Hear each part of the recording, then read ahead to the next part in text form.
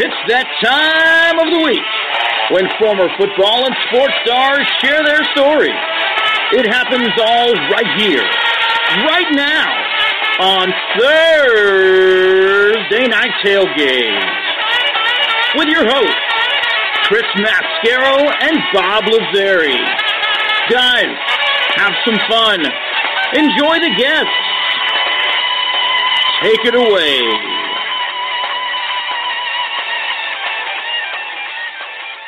Joe. Hello, everybody, and thank you for joining us again tonight on Thursday Night Tailgate, your home for interviews and conversations with the greatest players in the history of the NFL, and home of the NFL Alumni Association and the Gridiron Greats. I'm your host, Chris Mascaro, and tonight my co-host Bob Lazzari and I, we have got a wonderful show in store for you. TNT is brought to you tonight by the great folks over at Kyvan Foods, Coastal Orthopedics, the Louisville Slugger Museum and Factory, and the French Lick Resort. So we got five great guests that we're looking forward to sharing with you. And first up tonight is going to be author Lisa Kelly. Lisa's written a couple of books titled The Men We Became, Echoes from the End Zone, and a sequel to that, More Echoes from the End Zone. And the book focuses on Notre Dame players and their lives after football. And included amongst the players that she talks about in the book are former uh, quarterback uh, Terry Hanratty. You remember Terry, you know, former Steelers quarterback, also joined us a couple weeks back. Plus former Dolphins defensive back Shawn Wooden, who has joined us a few times. So we'll hear a story about those guys and a whole lot more when Lisa joins us here about 15 minutes from now. At the bottom of the hour, former Patriots Pro Bowl running back Tony Collins going to be with us for our five-star picks of the week. Following Tony, we'll get a return visit from former Broncos running back Olandis Gary. We'll kick off hour number two with uh, you know one of our you know really good friends that uh, we've had a you know a blessing to get to know over the last couple of years, and that's the dean of Atlanta Sports Talk Radio, Beau Bock. And then we'll round out the show with former Pirates World Series champion center fielder Omar Moreno. Omar, you'll remember, was part of the We Are Family Pirates back in 1979 when they won the World Series. Unfortunately, the last Pirates team to win a World Series, but very excited to get the opportunity to talk with Omar Moreno to round out the show. So we're going to have a lot of fun tonight, folks. So sit back, relax, let us take your mind off everything else going on in your life for the next couple of hours. Let's get started, though, by bringing in my co host, Mr. Bob Lazzari. Bob, how are you tonight, my friend? Hey, Chris, good evening. How are you?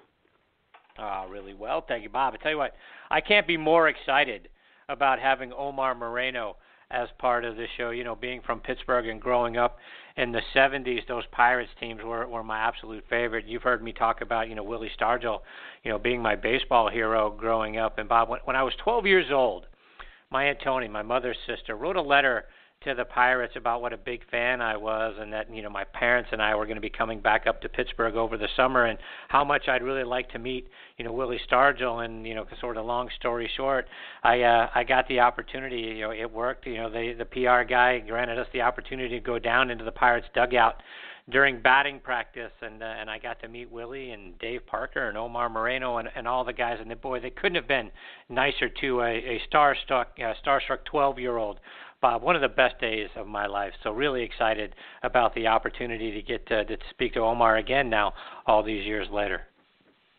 Yeah, that's when when you get a crossover guest like that, Chris, uh, baseball on a football show, you got to do it. I mean, he's uh, it's just it goes beyond football because guys like yourself and I. I don't care if we date ourselves tonight, Chris. The, we go back to those days in the '70s.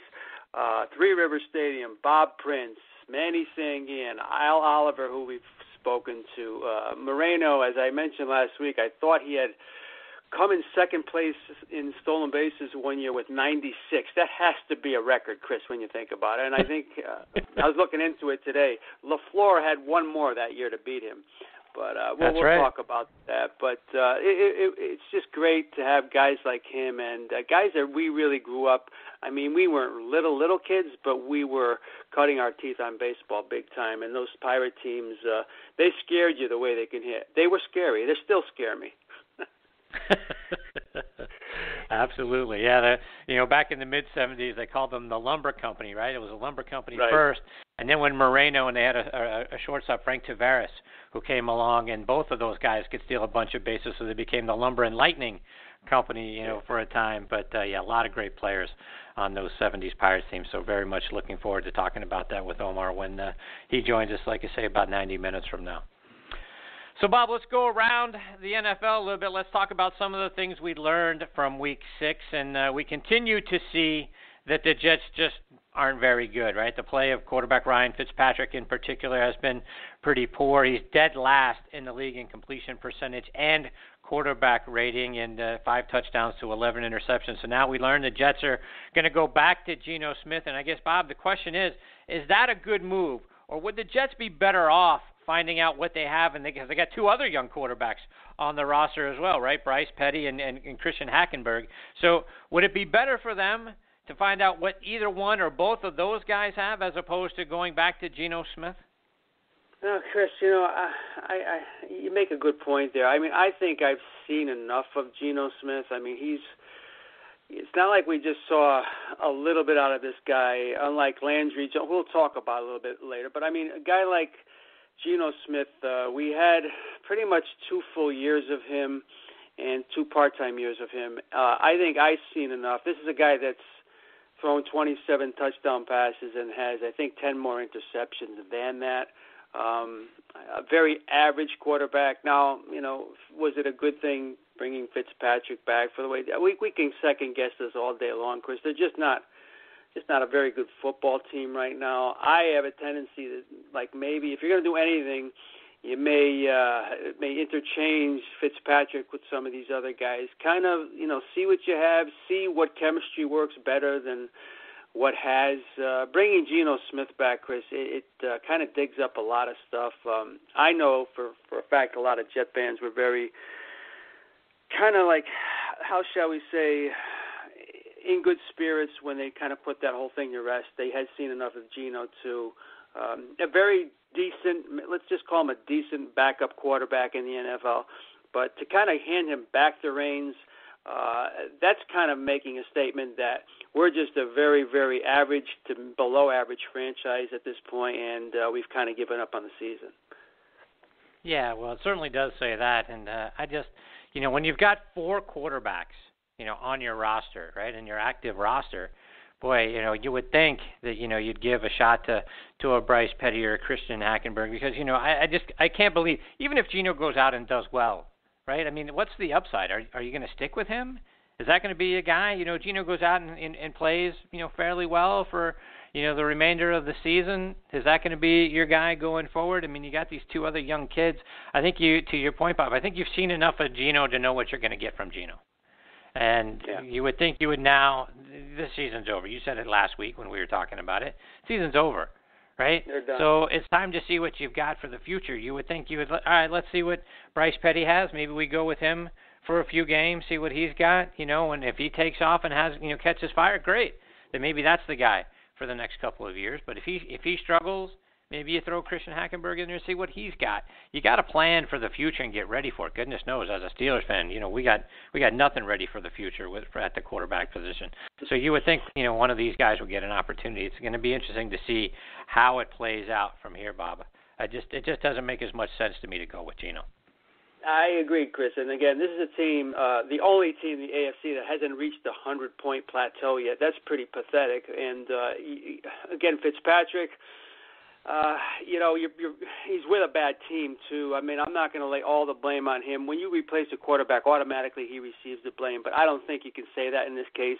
But going back to a guy who basically puts you in this situation uh, is not a good good idea. And I think most Jet fans feel that way right now.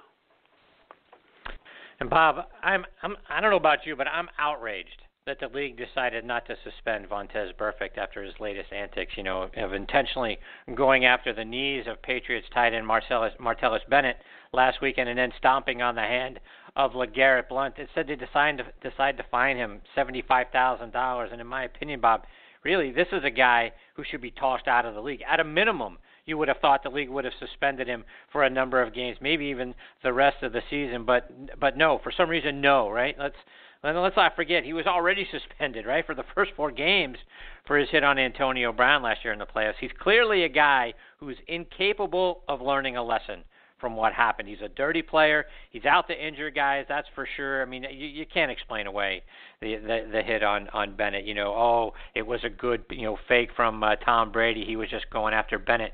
Not that low, not behind him in the knees. No, it's not. You know, I, I don't care what Marvin Lewis says. I don't care what the league says. You know, shame on you, Troy Vincent, for for you know handing out you know the uh, a, you know a fine uh, versus a suspension. Bob, in my opinion, no room in the NFL for players like Burfict. Shame on the league for not making a bigger statement.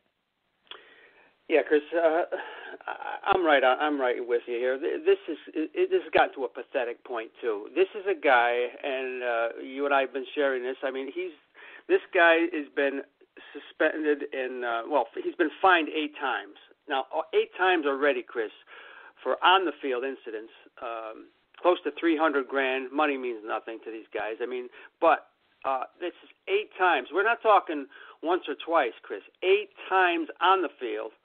Um, you got to think that number one, even in a violent game the way it is, this guy's a danger to other people because of uh, these. These are just horrific things he's doing on the field. I mean, what he almost did to Bennett, and uh, who knows what could have happened to Blount, Chris. We can go on and on about the uh, the result of his actions. But number one, the guy is not a nice guy. Number two, uh, this is like you had said, who can stick up for him? Marvin Lewis and him were in the league offices uh, this past winter, Chris, uh, discussing his behavior, and now we already have a couple incidents this year after he's seen the league officers. I mean, if this guy, you're right. If it's an outrage that they can't do anything more, uh, or if they just choose not to, um, because maybe he happens to be a talented guy, which we know he is. But um, is there a place for guys like this in the NFL? I'm wondering on the on the on the parts of teammates and other guys. I think they're even getting to the point where it's ridiculous, Chris. We were getting we're getting news that you know less people are watching some of these games because of behaviors like this, um, and we could talk all day about that. But I'm with you. This guy is uh, he's a disgrace to good guys that we talk about all the time. The majority of good guys that are in this league, and uh, there is no excuse. I mean, what are they going to wait for? Double figures in suspensions and fines? This is it's, it's gotten past a ridiculous point. Mhm. And Bob, my Steelers look like you know they're going to be without Ben Roethlisberger now for four to six weeks, following a, a more extensive knee injury than they than they first thought. They found some more damage in there from a knee injury he suffered last year against the Rams. So, Bob, if you're the Steelers GM and you're facing the possibility of being without Ben and potentially till after Thanksgiving. Do, do you roll the dice and you just stick with Landry Jones or or maybe a Zach Mettenberger if if Jones struggles, you know, this coming weekend or for the first you know first couple of weeks, you know, they picked up Mettenberger at the end of training camp, you know, from the from the Titans. So are are you, are you like the Vikings and you're calling around the league to see if you can pick up a veteran quarterback whether it's you know, hey, Fitzpatrick is you know out with the Jets, maybe he could benefit from you know a change of scenery and a more high caliber offense, right? You give him give him AB, Antonio Brown, you give him Le'Veon Bell and the, and the other weapons that the Steelers has. Maybe that makes a, a short term difference for a guy who would be a four to six week rental, or or maybe a Shaun Hill, who we talked an awful lot about with the Vikings. And you know, either one of those guys you would think would be in a buy low sort of scenario. So do you go that route, Bob, and make a few phone calls, or you just say, you know what? You know, Landry Jones last year was one on one, and the games that you know he relieved Ben in, you Mike Vick came in, he was also one and one, so they were two and two in the four games Ben missed last year. So based on past history, you go, you know what? Hey, if we end up two and two out of this, we're six and four, and then we go into the rest of the season back with Ben. Is that the route you go? Wow, this is a good question, Chris. Um, number one, as a preface to all this, and I'm sure you are uh, very concerned. I mean, we got Roethlisberger. I mean, his health, and and didn't we say this at the beginning of the year? You know, we had picked uh, Steelers, and of course, it was all about right. can Big Ben stay healthy. That was always the asterisk, and, and it's happened to other teams who were highly touted. You know, um, that lost a, a big man, but to answer that question, Chris, you know, and we had talked about a guy like Ryan Fitzpatrick. If the Jets did what you said, maybe fool around with other com- kind of combinations and chemistry and everything, uh, Fitzpatrick with his experience, and you put him on an already good team. um, that that's a different, whole different scenario than Fitzpatrick continuing to play in New York. You know, then he becomes a, probably an A plus game manager instead of just a guy struggling with a bad team. Um, Landry Jones, Chris, I, I think you've seen enough. Well, I can't say he's he hasn't played much, but that what we've seen. I mean, he's thrown. I think he's had a 30 completions, four picks. Um, they're a 500 team, I think, with him. Uh, he's not going to win games by himself. Um, you know, if a guy like Blount gets uh, if he gets banged up a little bit, they're in really bad trouble. But um, that you could say that about any team. But uh, to answer that, Chris, you know, I might be looking on the waiver wire or trying to make a deal for at least a guy that's pretty proven, a la your Ryan Fitzpatrick's, who maybe can do a little bit better than. For, and we're not we're not sure, Chris, uh, that Big Ben. I know he's he's a stud and he wants to play all the time. He's going to want to come back as soon as possible. But um, you know, what's not to say that Big Ben comes back? Chris, he's he's injury prone now. We know that. And so what what what what does December bring? We don't know. You've got to have a guy there. We we talk about it all the time. The importance of the quarterback position in this league. I don't look at it just as a two two game bridge. I look at it as you've got to have somebody in place the rest of the season that can learn the offense and do it well. So uh, I think I think you and I are on the same page. You keep your eye on that waiver wire. Get somebody in here who uh, who who is a proven decent quarterback that can lead this team to uh, at least uh, in in Ben's absence uh, a better than 500 record. Yeah, no, that's a that's a really good point you make, Bob, because it's it's not only maybe the, these four or six weeks but uh, Ben comes back and gets injured again, mm-hmm. you know, who do you do you go back to Landry Jones and a guy that you know just isn't you know isn't going to get you there, and maybe Orion Fitzpatrick could be good enough, right? He almost got the Jets there last year. Maybe he's good enough uh, to be able to step back in again and uh, and keep the season going while uh, while Ben heals up. It'll be interesting to see if they do anything. My expectation is they do nothing and uh, it's Landry Jones, and and away you go, and they just hope that Ben comes back and and uh, is okay. But uh, it would be interesting to see if they were to make a few calls around the league. Yep. All right, everyone, like we do every week here on Thursday Night Tailgate, we want to send out a big hello and an even bigger thank you to our military personnel who are listening in around the world on the Armed Forces Radio Network. We can't say thank you enough for doing what you do to protect all of us in our way of life. For everyone else listening on you know the station or the application app of your choice, we appreciate you so very much. We hope you'll join us in thanking the brave men and women serving in our military. If you happen to see one of our servicemen or women out in your daily life, wherever it is, grocery store, airport, restaurant, the bank, just out and about wherever you are, please stop for a moment and tell them thank you. They are our true heroes. We also want to thank our veterans for your service and your sacrifices over the years for us, your families as well, for all that you've been through for us as well. Big thank you to Sean Cruz and the wonderful folks over at the Armed Forces Radio Network. It is such an honor for Bob and I to have Thursday Night Tailgate as a part of your network. You can find our show by going to armedforcesradionetwork.org. And veterans, please continue to check out globalvoiceforveterans.org. What a great site with news and articles that you're going to find both interesting and beneficial for you. Again, globalvoiceforveterans.org. TNT is brought to you tonight by the great folks over at Kyvan Foods, owned and operated by our good friend and former Bengals and Falcons tight end and Thursday Night Tailgate Hall of Famer Reggie Kelly. Folks, if you want to be king of the grill, it's a must that you use Kyvan Sweet Barbecue Sauce, ranked number 15 in the world by Barbecue Superstars. This barbecue sauce is a must for your big games, your tailgating needs. It's available at select Walmarts and Kroger's throughout the eastern half of the country. Four locations, online orders and recipes. Check out their website at kyvan82.com. And Kyvan is spelled K Y V A N. And if your local Walmart doesn't carry the Kyvan Sweet Barbecue Sauce, well, request it. I'm sure they'll be happy to add it to their shelves for you.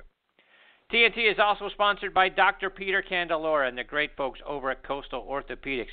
Folks, if you're an athlete or a weekend warrior dealing with injuries or discomfort, whether it's in your knees, your shoulders, your hips, your other joints, don't just live with it. Do what athletes do to get relief, and that is contact Dr. Candelora. He can get you back to enjoying life. For more information or to schedule a consultation visit, go to athletesinjuries.com. Again, athleteinjuries.com.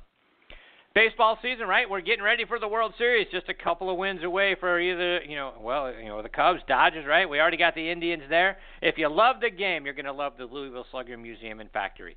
They recently were welcomed into the TripAdvisor Certificate of Excellence Hall of Fame.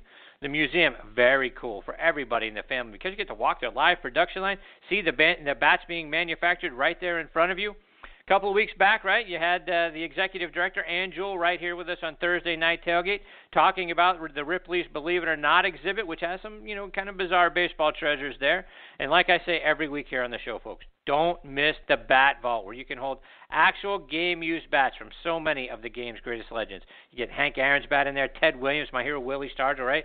His bat's in there. To find out more information about the museum and to book your visit, go to sluggermuseum.com. And please, folks, Go check out our good friends up at the French Lick Resort. You want to talk about a fantastic place to both stay and play golf or simply relax and enjoy yourself. Well, you're not going to find a better place than the French Lick Resort. It is a wonderful setting. Two championship golf course uh, golf course designs up there. One from Pete Dye, the other from Donald Ross. The Pete Dye course hosted last season's Senior PGA Championship. They recently hosted the LPGA Legends Championship as well.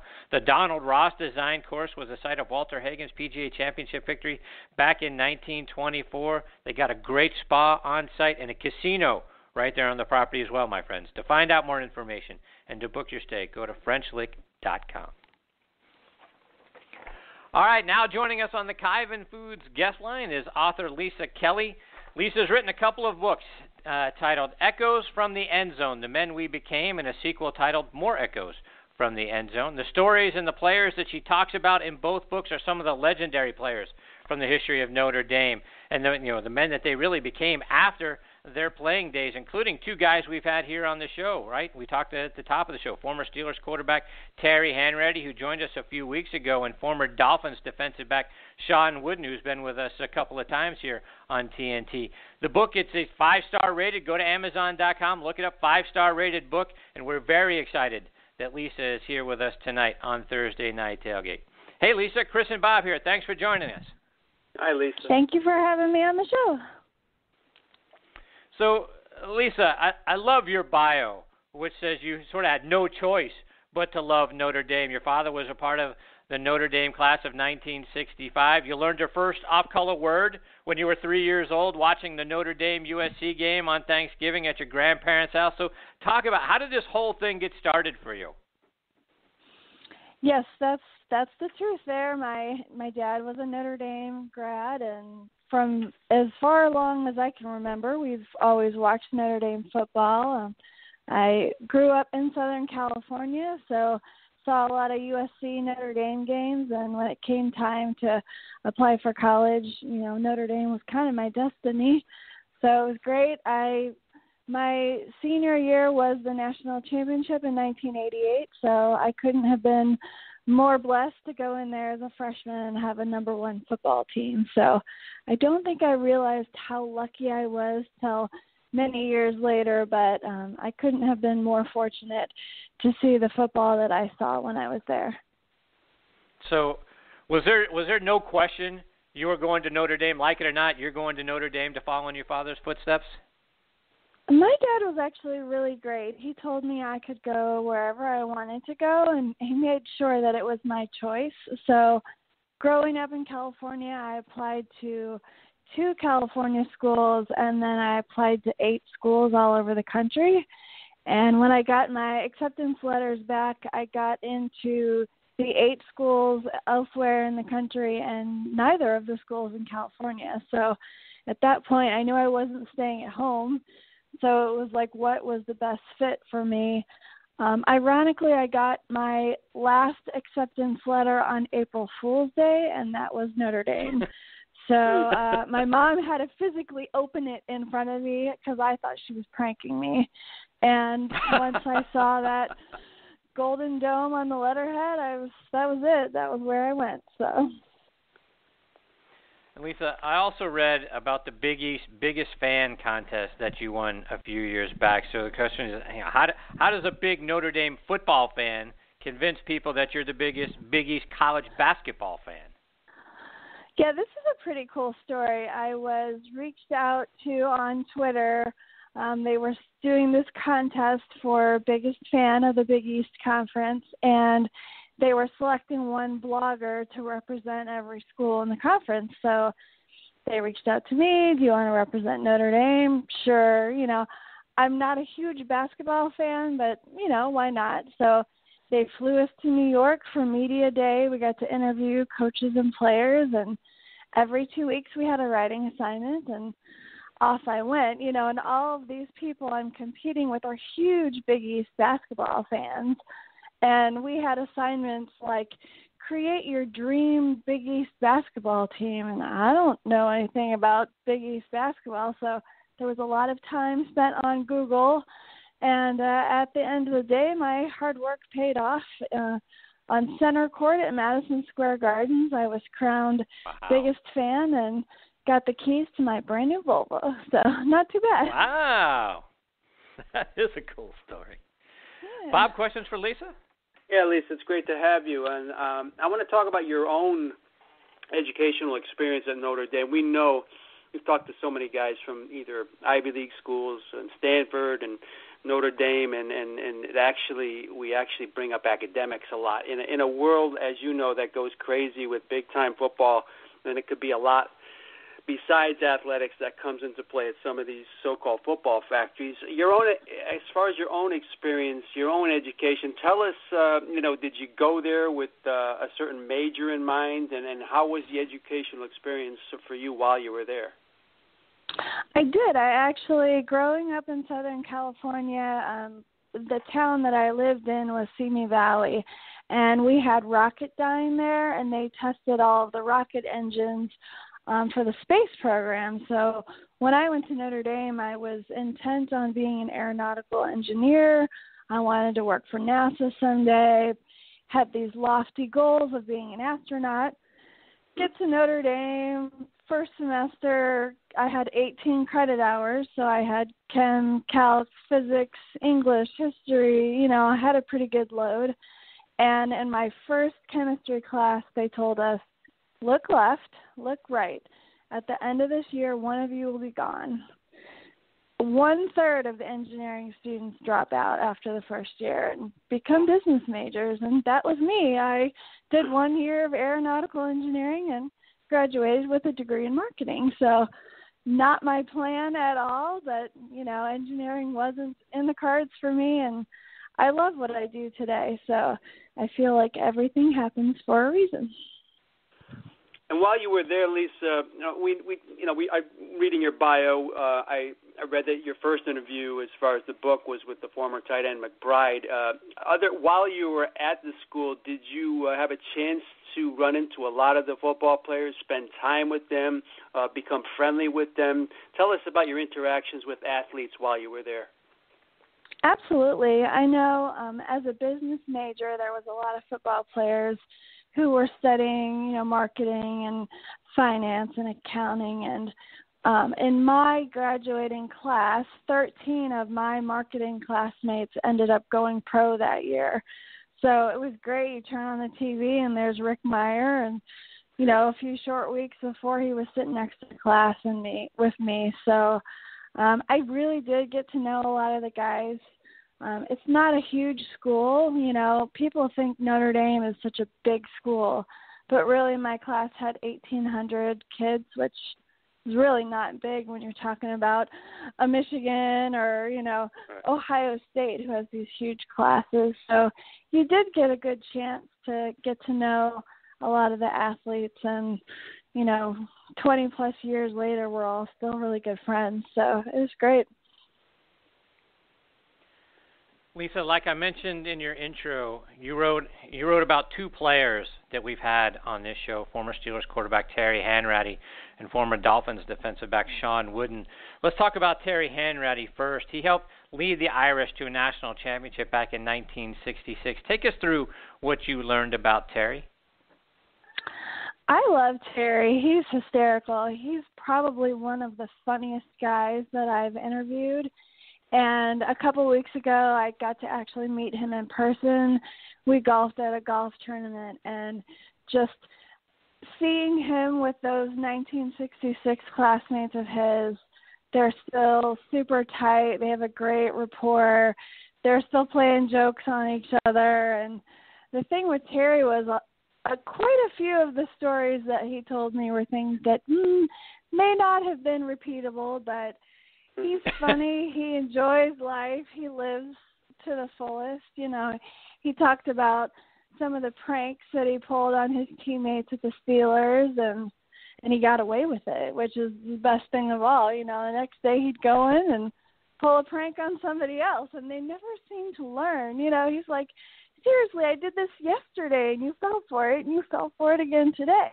So I, I really enjoyed, you know, hearing his stories about his experiences at Notre Dame and you know how the coaching staff really developed them on the field and what those skills then translated to you know in the classroom. He uh he went on to work in the finance world and you know when you're a quarterback you have to think very quickly on your feet.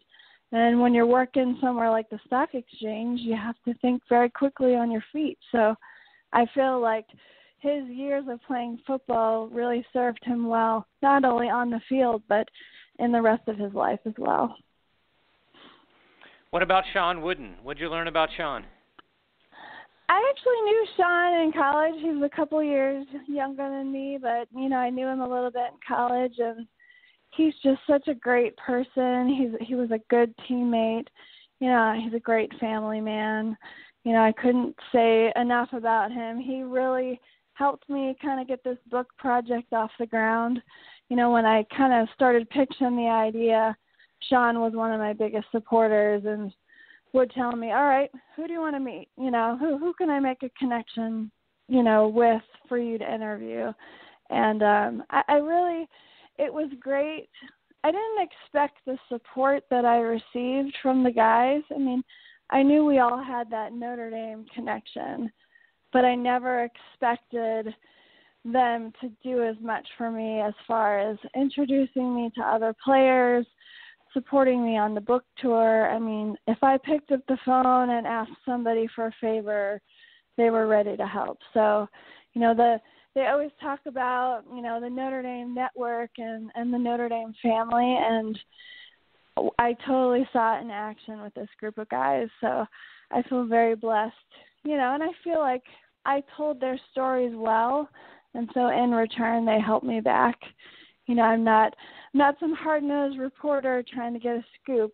I'm trying to tell their stories in the best way possible to not only, you know, benefit me but to benefit them as well. So it's been it's been quite an experience. Bob, one more for Lisa before we let her go. Yeah, Lisa, and I've been uh, looking at some of the the news and events on the site, and uh, you've done an awful lot of book signings, and there's an awful lot of weekends, and and uh, it must be a great feeling, and you, when you're when you could combine your marketing background and your, uh, of course, your writing and interviewing abilities, and uh, it must ha- be a, a feeling next to very few to have the feeling that people buy your book and actually want it signed. Uh, those must be very special times when you're able to get out and do that. It's awesome. I, I really enjoy. You know, the travel is hard. I have a teenager and a 20 something that I'm trying to raise and a full time job, and then I'm gone pretty much every other weekend.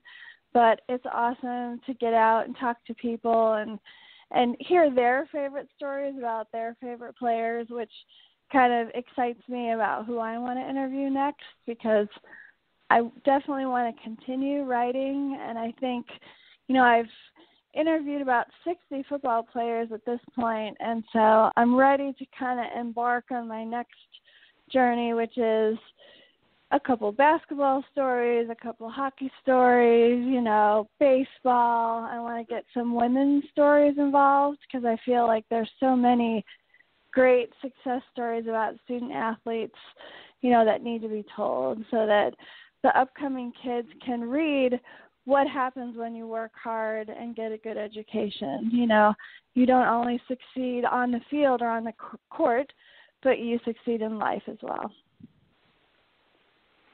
Lisa, let our listeners know where they can get a copy of the books and then how they can follow you over social media as well.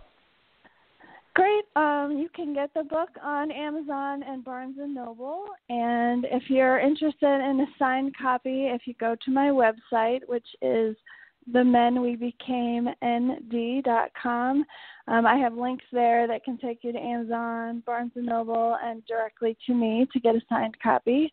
I'm offering free shipping in the month of October, so take advantage of that. Um, on social media, my Twitter handle is the number four Leaf Clover Girl, and you can catch me on Facebook also at the Men We Became ND. That's great. Lisa, thank you so much for taking time out of your night to be a part of the show. When uh, when you get the next stories put together, we hope you'll come back and, and share those with us as well. We'd love to have you as part of the show again sometime.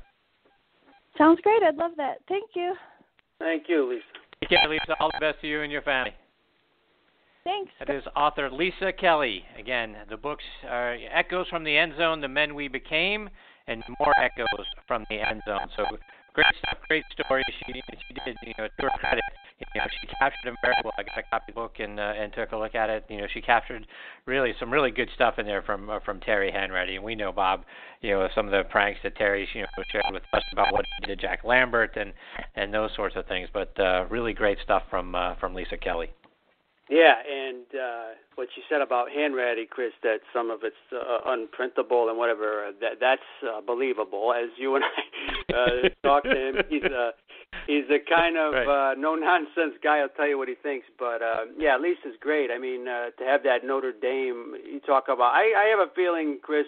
Uh, you know, she said she had a lot of choices, but I think she was scared to go to Notre Dame. What do you think? I mean, it was, there was a lot, a lot of family uh, stuff going on there. So, uh, great. We'll speak with her again.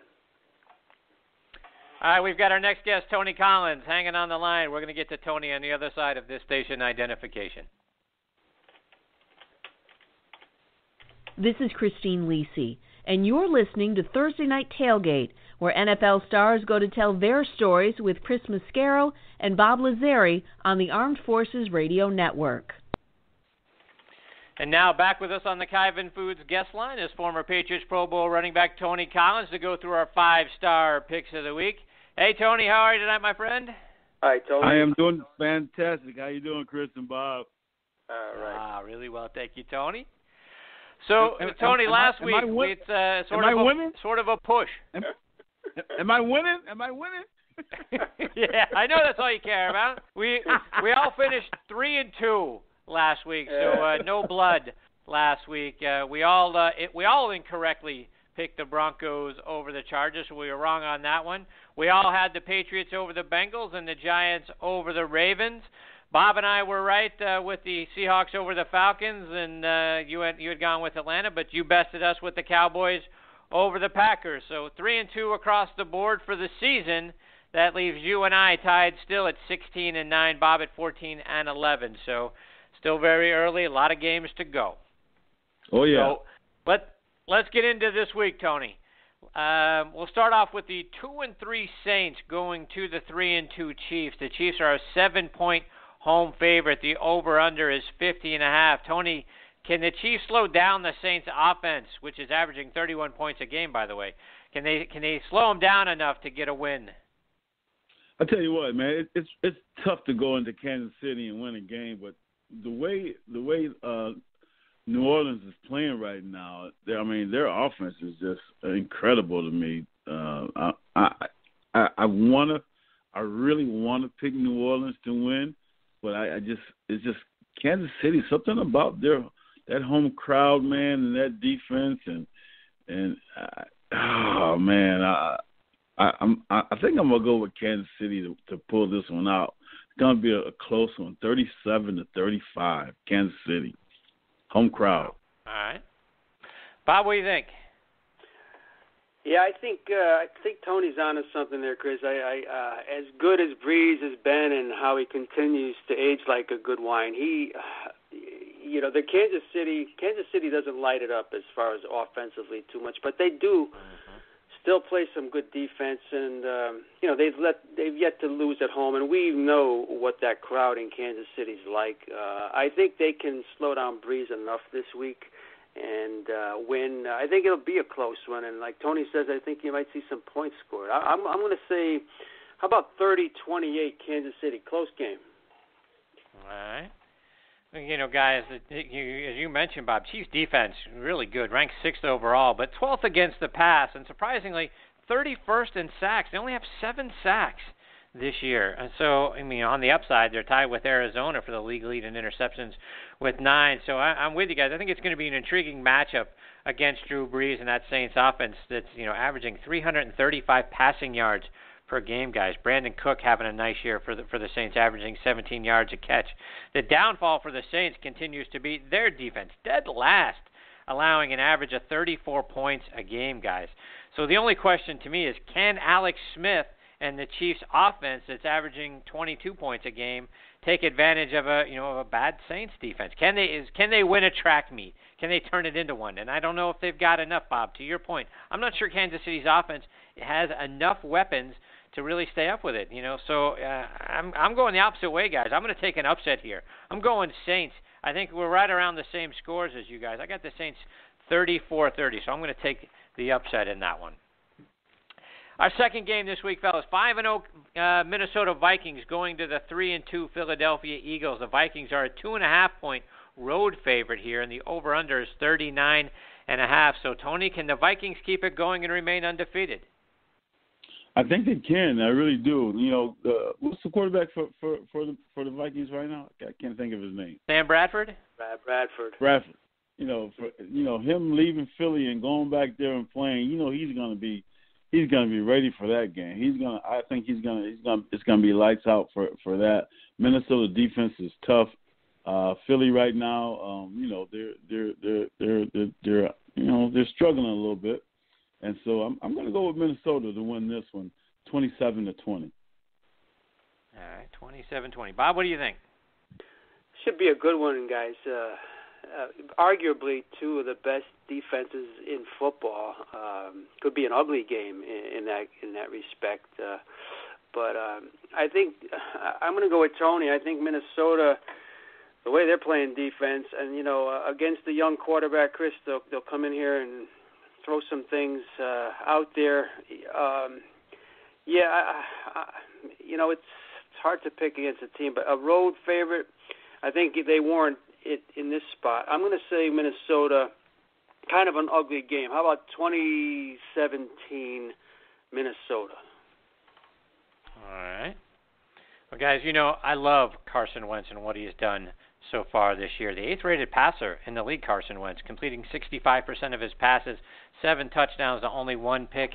Having said that, you know you guys hear me say this all the time, Bob. Particularly you, de- you defense wins championships, right? And the Vikings defense number one. They're allowing a league low 12.6 points per game.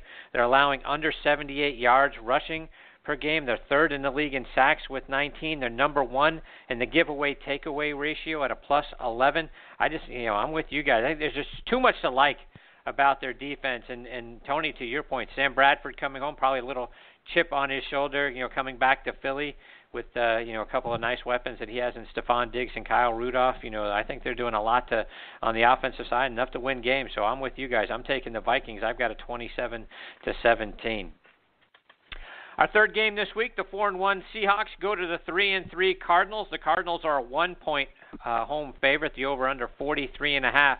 So Tony, Seahawks have won three in a row. Got kind of lucky last week, you know, at home uh, with a controversial call, but uh, one against Atlanta. The Cardinals have won two in a row now that Carson Palmer is back at quarterback. So which one of these two teams remains hot after this week, Tony?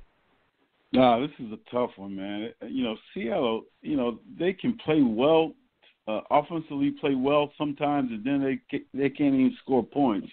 Uh, man, playing in playing in Arizona Man, I tell you what, man, I, I, I'm I'm going to have to go with the Cardinals on this one. I, I just think the Cardinals defense is going to come uh, rise to the occasion, and Cardinals beat them. Cl- uh, close game, low scoring game, 17-13 Cardinals. All right, Bob, what do you think? Yeah, Tony, this is our coin flip of the week. I'm going to go just because you said the card, I just I'm going to flip the coin here. I'm going to say Seattle. I mean, their, their defense is still very good.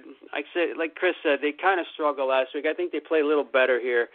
It's tough going against my Super Bowl pick, Chris, but uh, they've already disappointed me enough this year where I, I feel comfortable in doing that. So I know Palmer's back, but Seattle uh, they're looking pretty good. I, I'm going to say Seattle goes in there, very physical game. Uh, Seattle wins 24-17.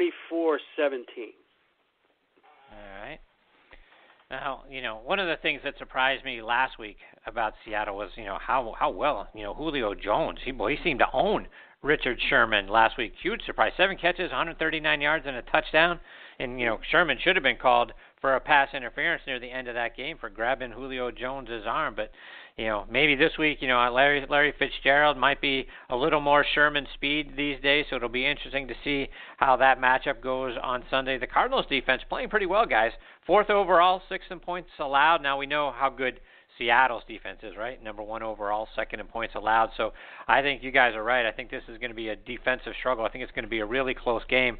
I like what Arizona's running back David Johnson is doing, third in the league in rushing yards, tops in rushing touchdowns. So you know, I think I think Arizona figures out a way to get it done at home. I'm I'm with you guys on the close score. I like the Cardinals. I'm going to go with the Cardinals here, 20 to 17. All right, we got two more games to pick. Then we're going to get to our next guest, Olandis Gary. Tony, uh, our fourth game this week is the four and two Texans going to the four and two Broncos. The Broncos are an amazing nine point home favorite in this one. Surprises me that many points. Over under is forty and a half. So Tony, can Brock Osweiler talk about you know quarterbacks going back you know to haunt their old teams? Can Osweiler go back to Denver and make them regret letting him go? Not this week. Hmm. No, not this week. I, I just think Denver is going to be just a little bit too much uh, for them.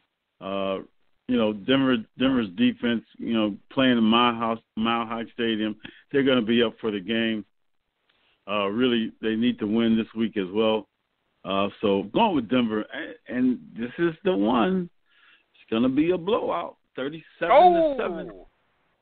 Denver. What do you got? What was the score? Thirty-seven to seven. Denver. 37 to 7 and the Tony Collins blowout special of the week. Bob, what do you think? I like Denver too, guys. Uh it's amazing to me. Houston's 4 and 2 and they've given up more points than they've scored. Um they're good at home, they're not good on the road. I think they go into the mile high air. They have a problem there. I, I, again, Denver's defense and Denver can score more points. It's just it's not a good matchup for Houston. I, I say I, I I think it won't be as yeah. I'm with Tony. I'm not going to say a big big blowout, but I like Denver to win this game. How about 30 to 30 to 14? 30 to 14. All right. So guys, you know, obviously we know right Texans are without J.J. Watt, but the defense guys remain seventh overall. They're second against the pass. Now vulnerable against the run. They're allowing 126 yards rushing per game. So C.J. Anderson and or Devontae Booker could have nice games this week for those fantasy football players out there. You, you certainly want to probably get one of those guys in your lineup. The Broncos, right? They've, now they've lost two in a row. Their defense uncharacteristically allowed you know over 20 points in both of those games. Trevor Siemian back last week for the Broncos. Played okay. He was 30 of 50 for 230 yards and a touchdown. I wouldn't expect more yards or touchdowns from him than that this week either. But I expect Denver to, you know, try to grind it out on the ground. They'll do that more this week, you know. And really, I think, you know, they're going to want to come after Osweiler to show him he should have never left. So I'm with you guys. I like Denver. I think it's going to be closer than what you guys have it. I got Denver 24 to 20, eking out a win, staying, uh, staying, you know, getting, I guess I should say, getting a win up in Mile High. So Denver, I got. So all three of us go with Denver there. And our last game this week, fellas, you know, um, is Tony's five and one Patriots going to my pitiful four and two Steelers who are going to be without Ben Roethlisberger for, you know, like we say, the foreseeable future, four to six weeks.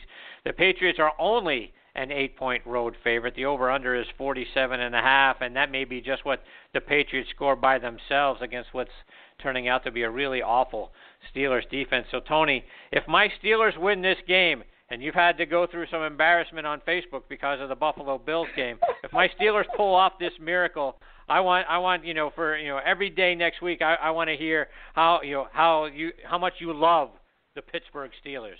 Uh, uh okay, so so so if New England wins, you're gonna have to put it on your page how much you love the New England page. Is that correct?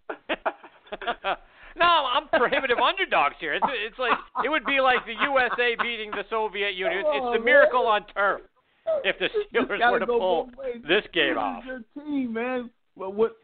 It's your team with Ben and without Ben, right?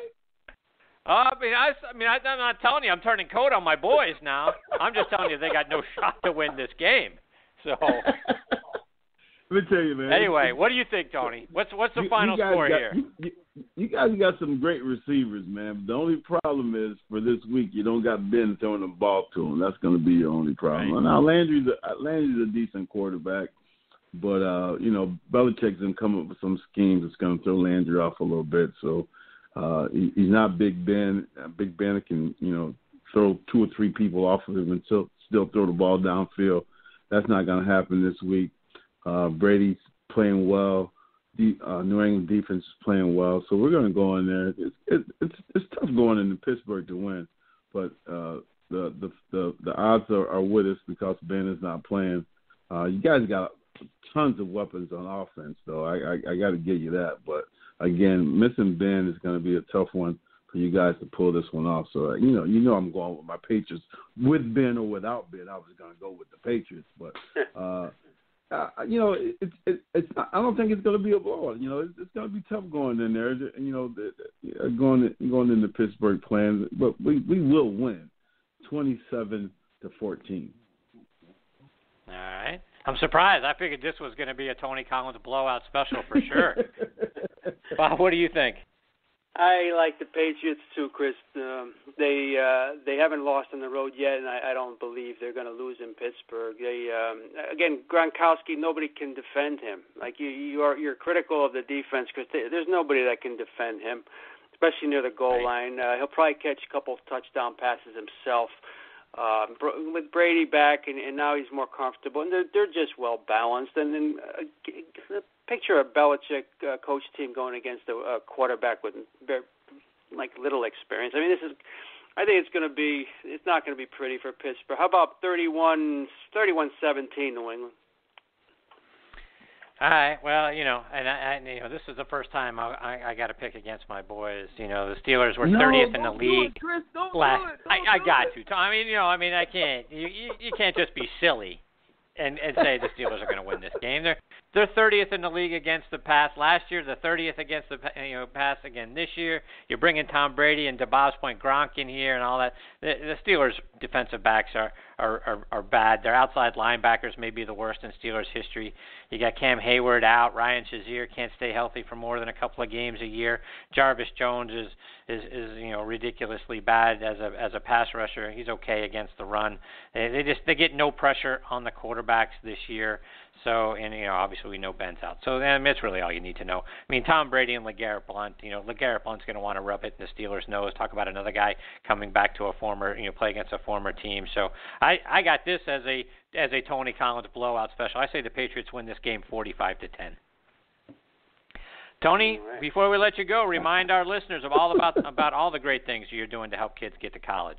TonyCollinsFoundation.com, TonyCollinsProjects.com, man. We're helping kids get into school. Go on the website, make a donation, uh, get a book from TonyCollinsProjects.com. Every book that we sell go towards helping the kid to, uh, into college. There you go. Tony, thank you so much for uh, being a part of the show again this week. We look forward to catching up with you again next week. We'll see how we did. Yes, sir. Good luck, Tony. Take care, Tony. All the best to you and your have a good family, my friend. You Take too. care.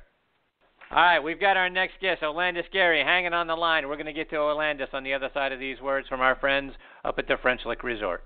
This is the time to play legendary golf at French Lick Resort. Book one of our money saving packages like the Hall of Fame package and play our Pete Dye and Donald Ross courses.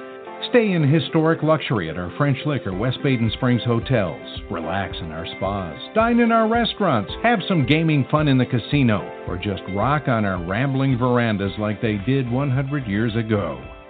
Go online to FrenchLick.com and book your legendary golf getaway now at French Lick Resort. Hello, everybody. Van Earl Wright here, reminding you that you're listening to Thursday Night Tailgate with the dynamic duo of Chris Mascaro and Bob Lazzari, right here on the Armed Forces Radio Network.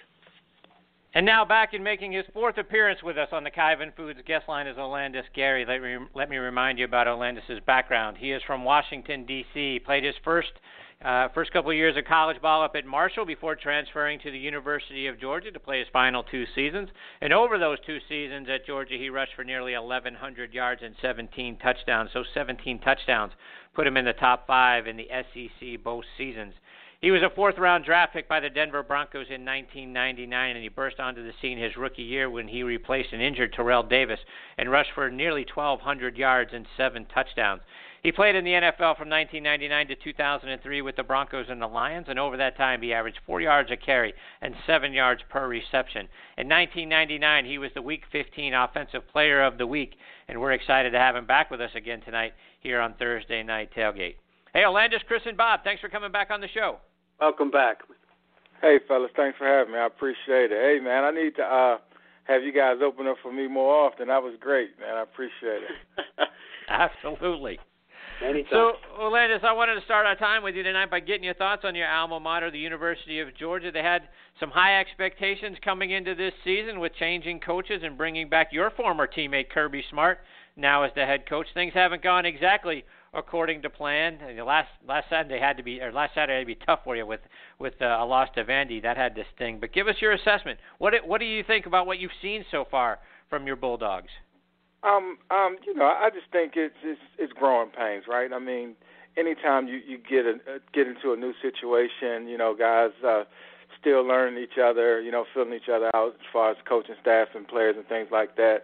Then you know you have a, a freshman quarterback, Eason, that that's out there. Um, you know, so he's getting adjusted to things as well. So, um, to me, you know, I, I just think teams about to get us now because uh, in a couple of years, I don't think they'll be able to stop us. So, um, to answer your question, I, you know, I love Kirby. Like you said, I played with him. You know, I, I took the field with him uh, on a on many of occasions. So he's definitely my guy, and I, I definitely, I mean, I think it was long overdue for him to get that job there at Georgia. And Olandis, you know, I mean, Georgia is, is, is, you know one of the great running back colleges, you know, programs in the you know in the history of the game. So many great running backs like yourself have come out of come out of UGA. You got another one there now, and Nick Chubb got off to an incredible start. Rushed for 222 yards against North Carolina in the first game. He's been dealing with some some injuries lately. Got a high ankle sprain so far this season. But you know, is is Nick Chubb the next great UGA running back that we're going to be seeing in the NFL for many years?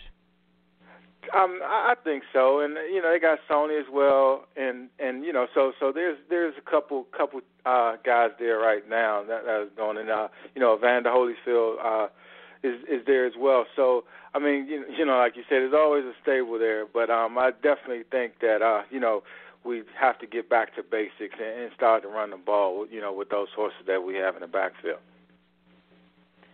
Bob, questions for Olandis? Olandis, it's great to speak with you again. How you been? Uh, I'm well, Bob. I appreciate it, man. Thanks for having me. That's good to hear. And, and uh, you know, Chris had mentioned you, when uh, guys like Terrell Davis, you know, and and uh, you got your opportunity, Olandis, uh, when Davis was there, and he would go on to play a few more games, and, and sadly, uh, just was never the same running back. But uh, man, we remember him as a very tough, physical just a very good guy, good runner. Uh, what did you learn from just being around him before you got your chance? Oh man, I, I'll go a little a little um, earlier. Um, go. I'll take it back to my my senior year in, in at Georgia, and mm-hmm. uh, Terrell he came to our, our G Day game, and and you talking about somebody that was in awe. You know, I was out there, you know, with, with my hero, um, and he actually went out with us that night as well. So you know, it, I think he, to me, he he put a humanistic perspective, you know, to to um, NFL guys, NFL players, and um, you know, he brought uh, Byron Chamberlain with him. He was the tight end. He played tight end at at uh, Denver with Terrell and at uh, Minnesota with the Vikings as well. And and so, you know, when when all the seniors are in the locker rooms talking about, you know, what place would you want to play at and things like that, right? So I always told the guys that I I wanted to play for Denver. I wanted to go to Denver to play behind Terrell Davis, and you know, just to to, to be his understudy. And um, you, you know, so so um, you know the story about that. You know, you know, I got drafted in the fourth round um, by the Broncos, and you know, with with me and Terrell having uh, you know a similar story. Him coming from California, me coming from the D.C. area, and you know probably 90, 95 percent of the guys that play at the University of Georgia are from either the state of Georgia or Florida or you know somewhere in, in, in the deep South. So you know with us having that background, so we always you know um, took to each other. And uh, you know that year that he got hurt in the fourth game of the season, I mean he was he was my biggest cheerleader. He, you know, and he always, you know, after every game, you know, I would call him and uh, we'll talk about the game, things that I should have done. And what, what a lot of people didn't know, that first probably my first four games that I played, I had a um, I had turf toe. Uh, so you know I was playing on pretty much uh, one leg almost. So I, you know, I really couldn't make the cuts that you know that I that I needed to to be an effective runner in that system. But you know, I was just you know just trying to you know bang it out and get through it. But after you know uh, after the fourth or fifth game of me playing, then you know it started to to, to work itself out. So Terrell was a key, you know, a key component in in, in the year that I had, um, you know, after he went down.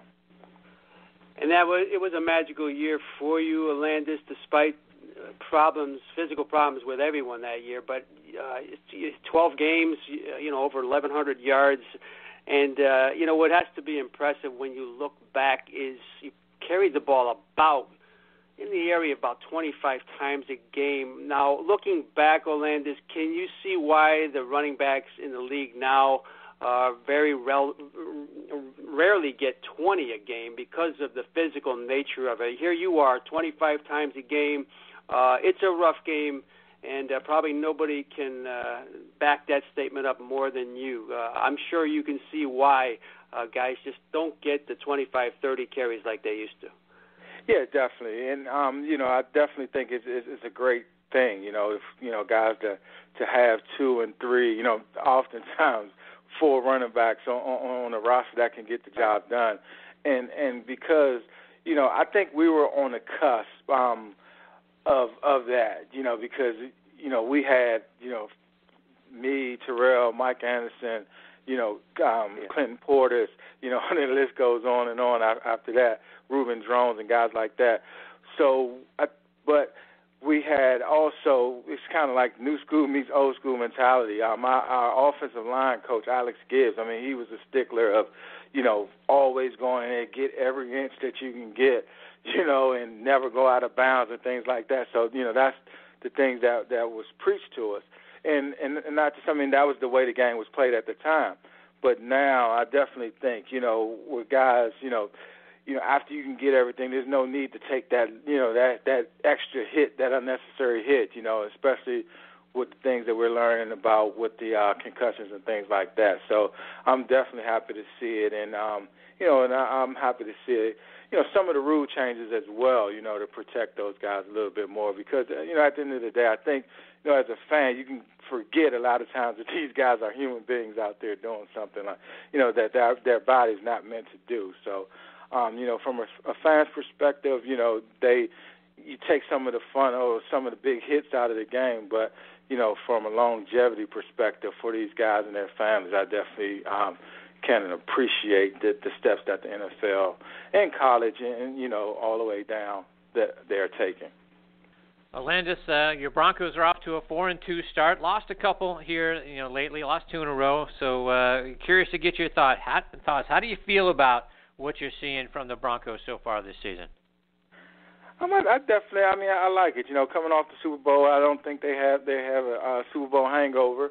You know, I, I definitely think that they everybody got back to business and it's a new year, and they they kicked it into gear uh, pretty early. So, um, you know, if we can get out of this patch, you know, the first the first half of the season, you know, looking good. These next two games, I think they'll be, they'll be pretty good this season. So as you talked about a lot of the great running backs, and we talked about the great running backs you know have at UGA, but you know you talked about some of the ones that they've had up there in Denver. Right now you got C.J. Anderson, you got Devontae Booker, a rookie, who's actually averaging over a yard more per carry than Anderson is. So you know, curious to get your thoughts on what you're seeing from both of those guys as the next great running backs that uh, the Broncos may have. Yeah, I mean, you know, Denver, it's it's I think it's their secret sauce. You know, um I always tell people, um, you know, like I mentioned before, Alex Gibbs, and and now you know with Gary Kubiak back, and and a lot of his, you know, uh, Mike Shanahan. Uh, uh, assistant coaches that are there helping, um, you know, helping with the Broncos. You know, you're starting to see a lot of of it, and when you see Denver's offense, it reminds you of that. You know, now it's it's old school offense. You know, because you got full, you know, more fullbacks and tight ends in the backfield and things like that, which a lot of uh, teams don't use anymore. So, um, I definitely think that, um, you know, those guys, man, uh, CJ especially, um, are in great hands, and he, you know, he's definitely going. You know, if he keeps it going and stays healthy, man, I definitely think that he'll be, uh, you know, probably in line for high. Uh, for for um, Hall of Fame bid, man, if he can keep it going. Bob, one more for Olandis. Yeah, Landis. I think we speak. We I probably talked about this last time, but I think it's always interesting for our listeners uh, about playing in Denver, uh, the mile high air and everything. Um, mm-hmm. how did that affect you, uh, Landis? And I'm, I'm sure when you guys practiced in that and then went on the road, you probably felt you could run all day. Yeah, I'm. I definitely, you know, that that air is definitely different up there, and um, you know, it, it's it's something to be said. You know, once it's hard to to to practice at a game speed. So to me, you know, um, you know, um, for my, like I have a 12 year old son, and I always try to get his his guys, their football team, to practice fast. You know, everybody want to practice at 30%, 50% speed, right? But it's like yep. you can't wait till game day to go 100% because you you you know you you're putting a governor on yourself. So you know, in in Denver, that's one thing that um that was kind of like our you know our our conditioning was full speed, you know, full speed through plays all the way like Coach Shanahan would be 20, 30 yards downfield. So we would run all the way down, you know, to Shanahan past Coach, and that will be our conditioning. So you know, when when we train like that, especially in the mile high, I think you know wherever we go after that, you know, it's gravy because you know we already train in, in the highest altitude. So um, you know, it, it it really hurt guys coming in to play us, you know, because they're not really used to that, you know, used to that air. So, um, you know, when they come in, you know, you can see guys sucking wind fairly quickly. Well, Landis, when when you're sitting around with your buddies, what what's one of your favorite stories to share about your time playing, whether it's either at UGA or in the NFL? Uh, I, I guess um, uh, probably. I mean, if I had a game, I would say it was um, actually my last game at UGA uh, when we were playing uh, University of Virginia in the Peach Bowl. You know, we were down, I believe it was 21 points uh, at the half, and um, you know, it was you know bowl games, nothing on the line. You know, people you would think that you know UGA uh, we were just folded out of ten and went home. You know, we were playing in, in you know in in Georgia in Atlanta, and um, you know we think probably uh, it was New Year's New Year's Eve, so you would think, you know, people we would just be like, "Where's the party going to be? Where's the New Year's Eve party?" But um, you know, though the guys in the locker room, you know, we just said like it's not over. You know, we're going to come out, we're going to get the ball, we're going to score, and we're going to win this game. And that's exactly what we did. You know, it was, you know, it was, it was one, one. To me, it was probably, you know, one of the, one of my my best games ever um, you know, being on the field because of the deficit that we came back from. And uh, you know, um, you know, and that Quincy Carter was the quarterback there. You know, Champ Bailey was there, uh, Matt Stinchcomb, Chris Terry, Jermaine Wiggins. Um, we were all seniors, and you know, we were leaving that year. So, I mean, it was a great way to go out, and um, you know, um, you know, just to bring some some relevancy to to the Peach Bowl. Um, that was the same game that I watched when I decided that I wanted to go to UGA. Two years prior, um, Virginia and UGA was uh, in the in the Peach playing in the Peach Bowl, and they announced Coach Donnan got the job at Georgia, and so you know we uh, when we was at Marshall, you know we had just lost the national championship game, and so when Coach D announced that when they announced Coach D was going to Georgia, you know that kind of piqued my interest. So you know I was naturally interested in you know following UGA and they ended up losing a tough game to Virginia, um, you know, for Coach Goff. but for us to be able to come out there and win it, it was kind of like a culmination of everything for me. So, um, you know, that was probably one of my fondest memories, and you know, playing uh, in college. Olandis, remind our listeners how they can follow you both online and over social media as well.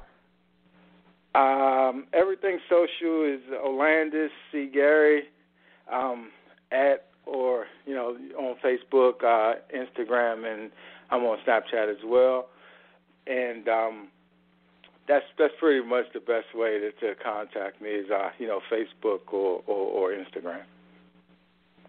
Olandis, thank you so much for taking time out of your night to come back on the show. It's always great for Bob and I to get the opportunity to spend some time with you. We hope you'll come back again, maybe later on in the season, share more of your stories and your insights with us. You're always so fantastic. Definitely, fellas. I appreciate it. Thanks for having me. Always our pleasure. Take Thanks. care, Olandis. All the best to you Yes, and your sir. family, Too. my friend. Thanks. That is uh, former UGA and uh, Denver Broncos running back Olandis Gary and Bob. You know, you, you talk about a guy that you know came from came from Marshall, spent two years at UGA, and uh, boy, what a what a wonderful stable of running backs they had then, and they just seem to every year have really good running backs coming out of coming out of uh, coming out of Georgia. Now they got Nick Chubb uh, as well, but uh, he was certainly you know two year two really good years at UGA. That's right. And when he started, uh, when he took over in Denver, everybody said, you know, Landis Gary, where's he from? Well, where else? Georgia, right? Like you had said, Right. there was a pedigree at the time, but uh, really a magical year, Chris. Those who remember that uh, '99 season uh, when he took over, uh, my goodness, he had uh, those fans in Denver on their toes. Seven touchdowns, all- like again, 1,200 yards in 12 games. I mean, he was uh, it was just a great back, and uh, as as we see every time we speak to him, a, trem- a tremendous gentleman as well. That's right.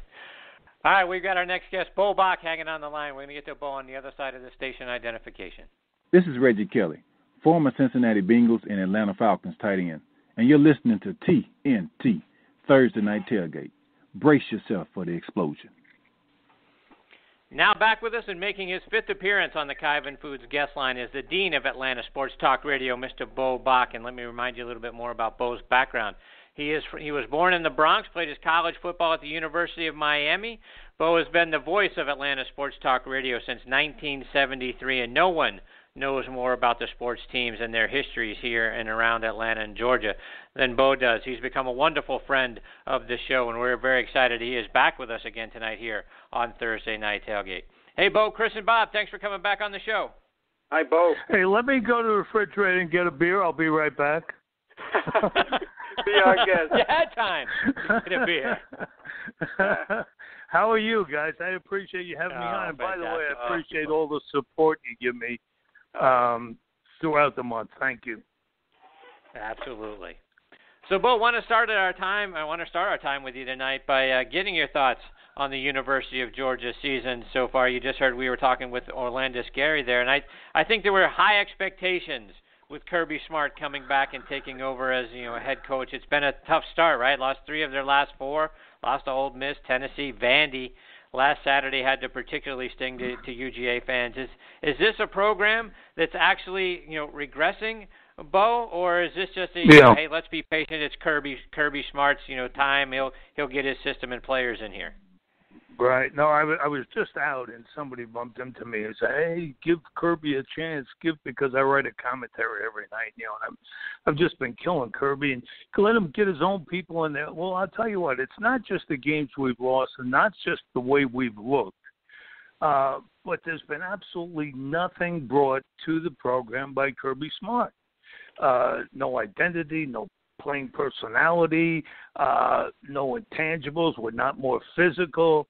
There's been and and he he's been a dud. He's been mostly you know missing in action as far as uh, being a head coach of a major football institution is concerned. And for all intents and purposes, nobody left and nobody arrived. It's terrible. So you know it's interesting, Beau. As you kind of look back over the last several years, right? You go, I mean, go all the way back to when you know Herschel left Georgia, right? His last season there was 1982. So over the last 33 years, You know, Chris. Georgia Chris, has averaged Chris, nearly four losses a season, four and three, like we say so far this year, Yeah. and they seem to always Yeah. have one of the top recru- recruiting classes, top recruiting classes Right. in the country. Yeah. Yet they're, they're never a top five or a top ten team. Why is it? Why is this program always seem to do less with more? Chris, Chris. I mean, this is my whole deal. This is what I go through every single day. Nobody down here understands. The newspaper doesn't understand. Nobody's ever said what you just said. Nobody ever says. I'm the only one who says it. It's the most underachieving football program in college football. Every year we have the best athletes in the country. And every year I I was just watching uh, you know Miami and Virginia Tech and uh, you know Mark Richt, and, and and it just occurred to me, you know, Mark Richt's teams are submissive, you know, and and then you go back to to Dooley. You know why Georgia's Georgia and Alabama's Alabama? Because of Bear Bryant and Vince Dooley. That whole period, you know, while they're building and they're and they're adding to their legacy, we're just going through the motions back here with the best athletes in the in the country who never saw the light of day, by the way, and just going with uh, with uh, Vince's you know run offense in the same formation, the same play every single time, and never stretched the talent that we had on hand. We and and always wanting to bring us home at seven wins because that would keep him keep his job. It was it was horrendous. It tore my heart out all those years, Chris, that this was going on and nobody was saying anything. It's in it's in our Why? water. There's something wrong. I don't know. The newspaper's vanilla. I'm the I'm the crazy guy down here because I'm the only one who says this, and everybody thinks I'm nuts. It's the most frustrating thing in the world. Bob, questions for Beau? Uh, Beau, it's always a pleasure. I, I, I don't know where to start with you. I, how about the let's go to baseball for one minute, Bob, because the, the, Yeah, the Braves. sure. uh, I don't want to keep uh, bringing up bad uh, memories for you, but the Braves. Right. You know, Beau, going into a new stadium, uh, you you would think, you know, they'd have a little juice, momentum going on. My goodness, Beau, this was a team that uh, had the almost the worst home record in baseball. How tough was it looking at them at home every year and seeing a team that played 20 games under 500 in their backyard? No, it's been very, very frustrating. You know, we've been underachieving, um, you know, with that team since 1990. I talk about, you know, sure, also throw 14 division championships. Uh, uh, well, hey, you know what? We were in the weakest division of baseball, you know, for those entire years. Secondarily, we won one time out of 14, and and you know Bobby's in the Hall of Fame, and let me tell you something. That whole that whole mindset of Bobby is, you know, we we were a great baseball team, but you know we were a better golf team. You know what I mean? That you know that was Bobby's Bobby's regime. you know, it was, it was like you know, uh, run everything out, wear your uniform properly, no music in the clubhouse, and be here on time. Other than that, play 18 holes a day. We don't care. You know, it, I'm telling you, it was you know it was it, for Bobby Cox to be in the Hall of Fame is the most extraordinary thing I, I've ever seen in my life, and it's because of the media here. We have no sports media. Hmm. You, the, you know, it's all owned by Cox. And Cox owns the AJC, the one newspaper in town. They have the dominant radio station, the dominant TV station. It's not supposed to happen. It's against the law. But these guys had it grandfathered in. And and they control the whole deal, and they're in bed with every team we have here. You should see. You're talking about. You should see Georgia Tech with this guy, um, Paul Johnson, running that high school offense. You talk about one of the great legacies in all of college football is uh, is Georgia Tech, Bobby Dodd Stadium. I mean, 1922. That's where the Four Horsemen first ran together. Was on Grant Field. You know, now you look at the Four Horsemen. Four Horsemen are rolling over in their grave, looking at what's being played on top of their field. Hmm. It's terrible. Yeah, Terrible. It's, uh, it's tough, and, and And Beau, what can you tell us about the the new stadium uh, as far as amenities, uh, and travel, everything? Give us a your, baseball, your... baseball, or or football. You know, we've got about, that uh, Mercedes Benz thing with the you Yeah. know with the magic roof and all that stuff, and then you got SunTrust Stadium where the Braves are moving in, in Yeah. Cobb County, and you know that was a that was an overnight deal. That was a nighttime deal. You know. And you know, Cobb County voters never had a chance to vote on it. Uh, you know, the Braves never even announced it. You know, who knows what went on in in in, in those meetings? But Yeah. uh, there's no parking up there. There's no public transportation there, it, and and it's a traffic mess right now. The people can't even imagine what it's going to be like. Oh boy. This, you So know, let's talk of a our- little. You know, Chris, Go all ahead. of our Southern sports are built on cronyism. You know, it's who you know and who's your guy, and you know, and and it's like don't say anything about it if he's on or you know, it's it's it's the weirdest. I if I could write, and I write every night, but I write like for radio and stuff like that. But if I could write a book, I'd write about this because it would be highly acclaimed by psychiatrists and by sociologists and everyone trying to figure out what the hell is going on here. Mm. so, Beau, let's switch gears a little bit to the to the Falcons, right? And the fans here pretty excited, right? Despite a bad call last Sunday that likely cost them a win over the Seahawks, but their offense, boy, looking good, ranked you know first in Hey. yards and points per game. Matt Ryan looking good. What Yeah. do, what do you think about the Falcons so far? the, the most amazing thing I've seen. I mean, it really is, and, and, and no one around here even saw it. And, and in fact, I heard their play-by-play guy saying today on the radio, if anything, you know, that third quarter against Seattle will be the everybody point to as the turning point. It happened after week one. It happened between actually week two uh, between the Raiders and um, the Saints all of us, you know, those first two games, and and when you know that first game especially against Tampa Bay, we came out like it was 2015. We were flat, we were listless, you know, there was no energy, right? All of a sudden, we come out against the Saints, and we're a different football team. We're running, we're chasing, we're hitting. The intensity there, all the physicality was there that you want. Matt Ryan's running no huddle, and instead of us, you know, uh, uh, being submissive to the defense, he's dealing, and we're scoring. Totally different football team, and each week we've gotten better. And you know, think about what we went through in the first six weeks: at Oakland, at New Orleans, at Denver, at Seattle. And and and to come out of it with that record where after while we were at at the end of last year is remarkable.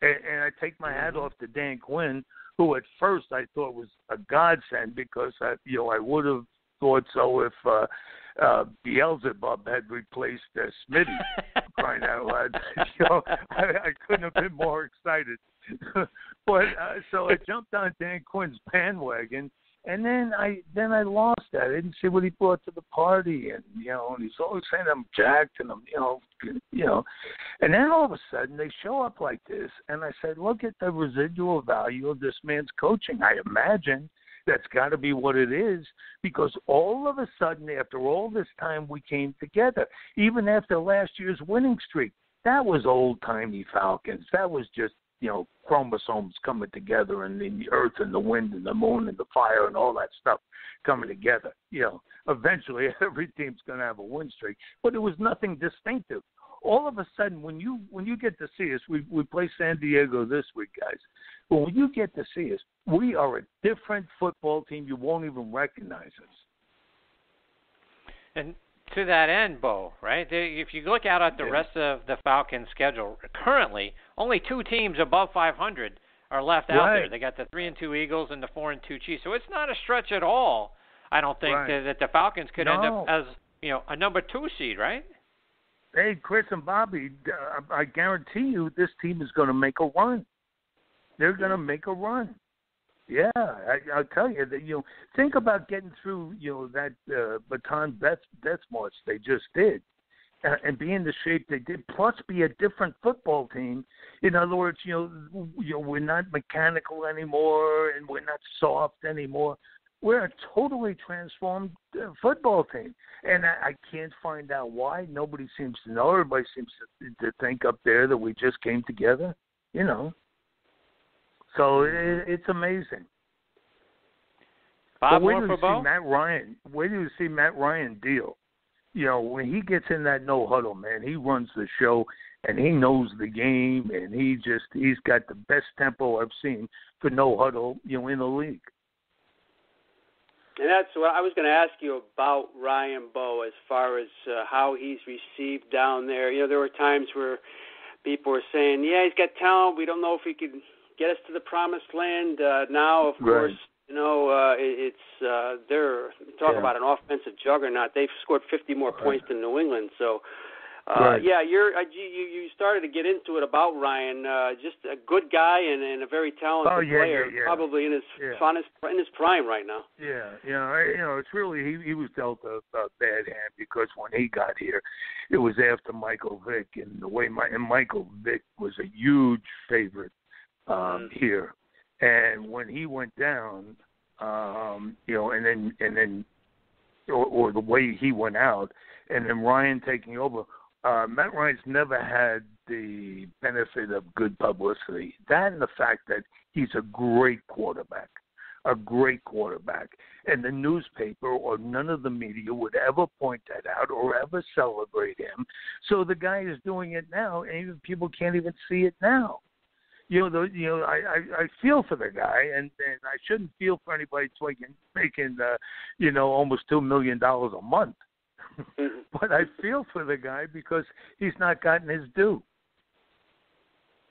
Yeah, it's uh, he's he is something. Thirty-one years old. Uh, you got to think he's got another few years, uh, good Yeah. ones. But it's seventy, almost seventy percent of his pad, He's he's in, he's in a zone right now, Beau. And Right, uh, you right. know, you got a guy like uh, Freeman who could run the ball, and Julio Right. Jones. Julio Jones, we mentioned earlier in the show. Uh, He's a horse. you know, he is, and uh, he's kind of your typical receiver right now, uh, Beau, and he got a bad break last week during that Seattle game. But uh, six four, two hundred twenty pounds. Um, my goodness, uh, the the sky's the limit Yeah. for him too. Right, he's, uh, right. He's in his prime too, twenty seven years old. Right, and then we've got a guy on the other side, Mohamed Sanu, who hopefully will will make hay, you know, when they double Julio, because Julio's the only guy on our team that had to double. And a year ago, you could take him away because Roddy White, you know, was done; he couldn't be a factor. So now we bring in Mohamed Sanu from the Bengals, and he's balancing the field a little bit. And you get the running uh, uh, of, of Devonta Freeman uh, in the in in the backfield, and we've got great offensive balance. And then we've got Tamme, this tight end, who doesn't drop a ball, and everybody seems to be responding. So, Beau, before we I- let I, you I go, expect a good one. Yeah. Beau, remind our listeners what what are some other projects you're working on, and how can they follow you over social? You know? I, I, I've got my website that's um, just uh, under construction right now. All that's on it now is my commentaries and all that stuff. It's it will be up in about a week, and that's beaubocksports.com. And it's B E A U B O C K, beaubocksports.com. And then I'm at BeauBock790 on Twitter, and um, you know that's and then I do a commentary every night which I send out to. We've got 8,200 guys who get this uh, every morning. Is uh, a commentary, and so if anyone would like to get that, just uh, send it to me. Send me your email address at beaubock at gmail dot com. All right. Beau, we hope you'll come back and uh, later on in the season continue to share your insights with us. You know, you've become one of our favorite guests here on Thursday Oh, night. I Tailgate. we can't it, thank Chris. you enough for all of your time. Yeah, I can't wait to come back. I really enjoy being on your show because uh, you guys ask good questions, and you know what I'm talking about. You don't think I'm crazy. No, you got to be a little crazy to do what we do. I'll see you guys. Thanks. All All right, right, Beau. take care, Beau. Bye. That is uh, the dean of Atlanta Sports Talk Radio, Mr. Beau Bock. Always a good time, Bob, when we get to spend uh, a little bit of time with Beau. Ah, uh, we love him, and he's uh, yeah, so refreshing. And uh, you talk about intensity, and uh, yeah, if you get a chance to listen to his uh, commentaries, uh, terrific stuff, and uh, right on top of stuff. Like we say about Paul Alexander in Pittsburgh, Chris. You want to know about Atlanta stuff? Get in touch with Beau. Yeah, exactly right. No one knows more about what goes on in this town and the sports, the sports are in and around Atlanta, and obviously the University of Georgia and Georgia Tech as well than Beau Bock does. So Beau Bock, you know, at 790, you know, look him up on uh, on Twitter and uh, BeauBockSports.com. Keep your eyes on that because there's going to be some great stuff coming out, I'm sure, from our good friend Beau Bock.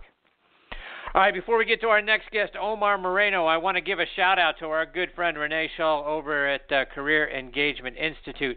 Folks, if you're upside down in your career, and what do we mean by that, right? You're ready to move on.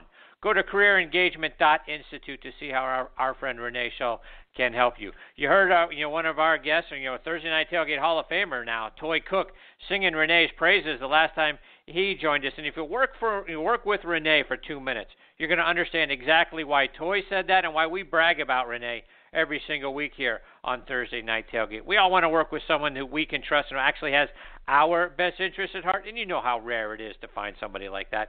Well, no one fits that description any better than Renee Shull does. She's a wonderfully talented lady, the kind of person you want to work with and have working for you.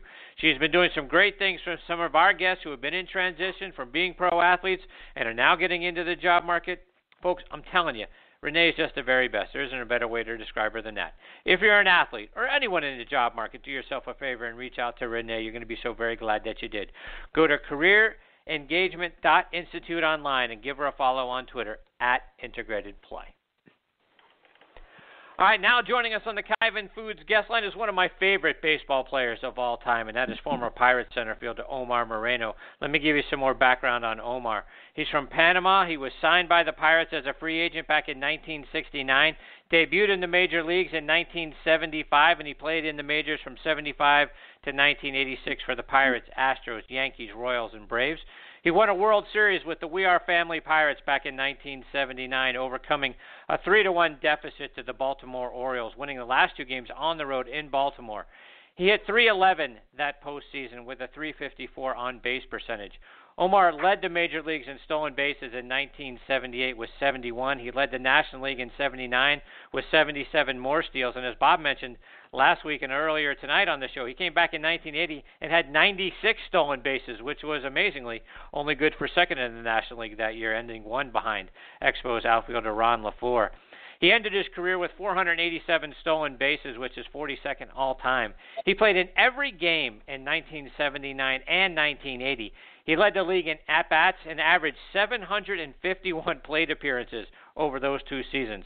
He's one of the premier leadoff hitters in baseball history. Uh, so, so over over the course of his career, I don't, I'm not sure there was anybody any better than Omar Moreno was, and I'm very thrilled that he is back with us or here tonight with us on Thursday Night Tailgate. Hey, Omar, Chris, and Bob here. Thank you for joining us. Hi, Omar. Good evening, everyone. Good evening. So, Omar, let's Hello. start by going back to when you were originally signed by the Pirates. How did you go from a free agent to joining the Pirates organization back in '69? Well, I signed when at the age of 16 years old by uh, by Herbert Raybourn in Panama. The same scout signed on uh, Rennie Stennett and uh, Manny Sanguillen. Wow. Long time ago, yes, yes. At the age of 16. Wow. And and Omar, you you played several years, you know, with one one of my idols growing up, Willie Stargell. Now, I'm curious to get your thoughts. What are some of your favorite memories of playing with Willie? Well, Willie was special for me, so that's why we call him Pop. This is the guy inspired me to to play this game. Willie and Roberto Clemente. Well, Roberto was before me, you know, pero Willie and Right. Roberto always me. Yeah. And, Willie and was Omar, you know, yeah, yeah. Go ahead. no, go ahead, please finish your thought. No, Willie, I learned so much from from Willie. You, that's why we call we used to call him Pop in, uh, in, uh, in our team in 1979. hmm And, and Omar, you know, your clubhouse, right? You know, we, we we all know about the We Are Family theme that you guys had. It always seemed like you guys truly were a close knit group. You had some characters in that clubhouse with you know guys like Dave Parker and Phil Garner, plus obviously you know Willie as a as a father figure, Manny Sanguillen in there as well. John Candela- John Candelaria seemed like a guy who liked to stir up some trouble now and then. Talk about what it was like being with those guys off the field. Well, well I learned so much from those guys. Man, I was I was very lucky to play with those guys. Man, I learned so much from not, not only for the Willie and the, the Parker, and I learned so much from from from Chuck Tanner. Phil Garner, Tim Foley, uh, Candelaria, Grant Jackson, many Manny Sanguillen, and uh, all those guys, man. I learned so much from those guys uh, in 1979. Not only 79, uh, since in, when, when I came to Big League. Mm-hmm. Bob, questions for Omar? Uh, Omar, we've heard uh, you mentioned Chuck Tanner. We've heard so much about him as being a player's manager but uh, he knew the game. Uh, just give us more thoughts about him. Seemed like a, a really good baseball man. Yes, yes, he's a very respect guy. You know, respect. We have to play hard, respect the player, we respect him. You know, and uh, good guy, great guy. Try to keep everybody together. You know, that's why we win the 1979 World Series. Only because uh, uh, uh, we got a good team Pero Chuck is a person that tried to keep everybody together, tried to play hard for him, and uh, tried to do the best for the for our fans in, in Pittsburgh.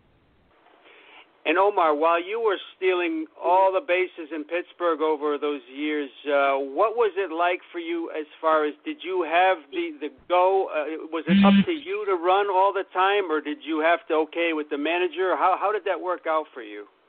Well, uh, well, I got a green light. Yes, they gave me green lights, and uh, and uh, when I play with, with Chuck, my sec, my first year I played with Danny Murtaugh, but I play only one month. But when I, Chuck right. came come from from Oakland, Oakland, from the A's, and he started to, he saw me uh, play me in, a, in center field, a, a kind of speed I have, so they gave me green lights. So I feel more comfortable. One day I talked to him, I told him, Chuck, I feel better when you give me green light because I'm gonna work with Tim Foley. So I I, I work with Tim, that time I work with Tim Foley. So I give him sign when I'm gonna go to to try to steal second base.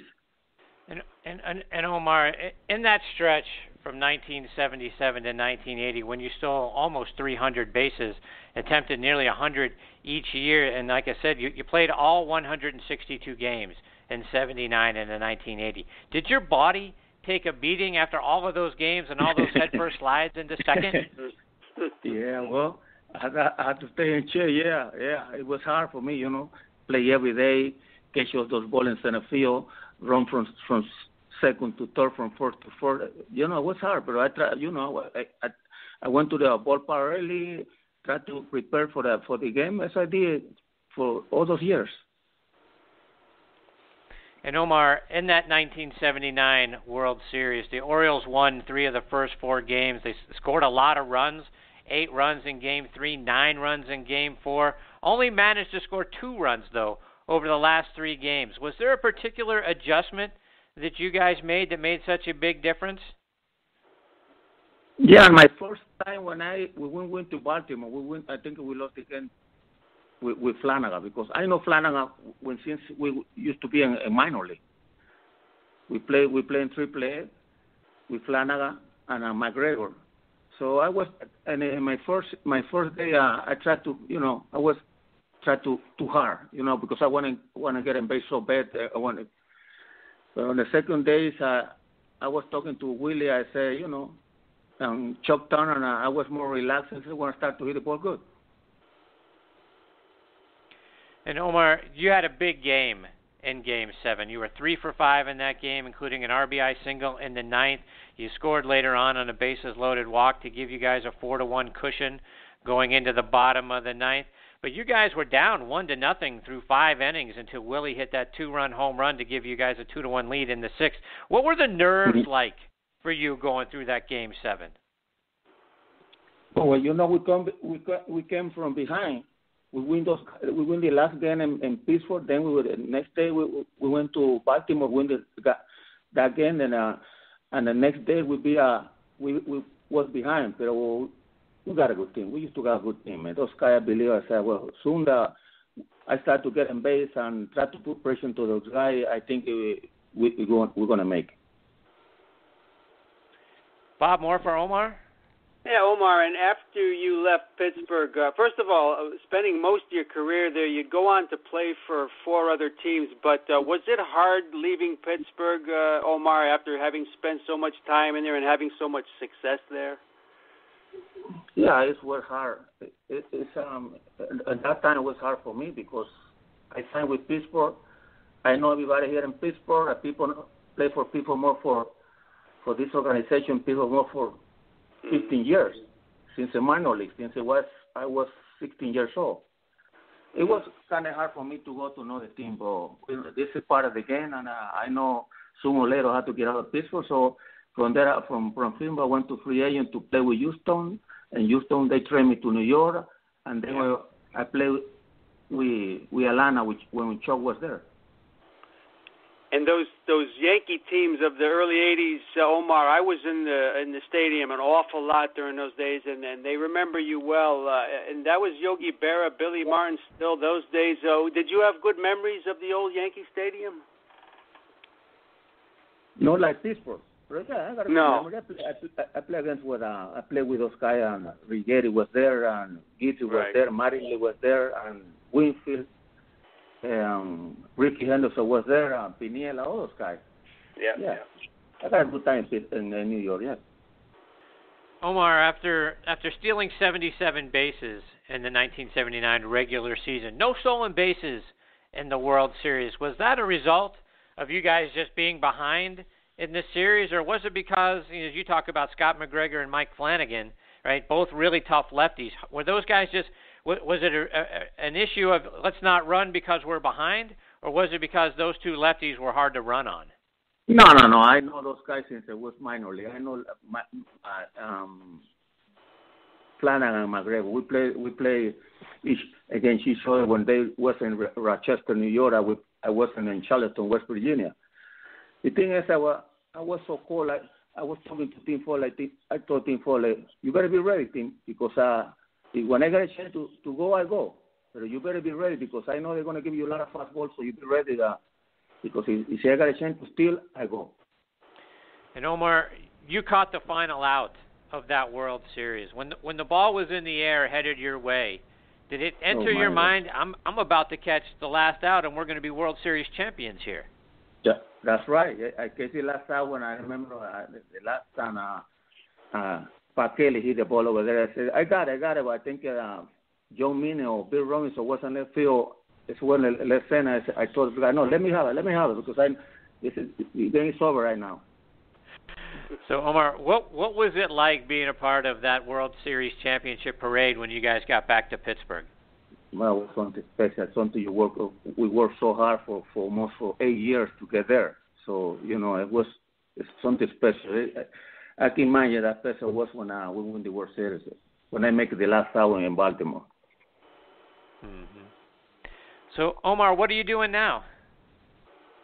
Well, right now, I, I, I live here in Pittsburgh, so I went to the spring. I, last two years, I, they invited me to go to spring training to work uh, to work with uh, those guys in the outfield, Polanco, Martes, and all those guys in uh, base running.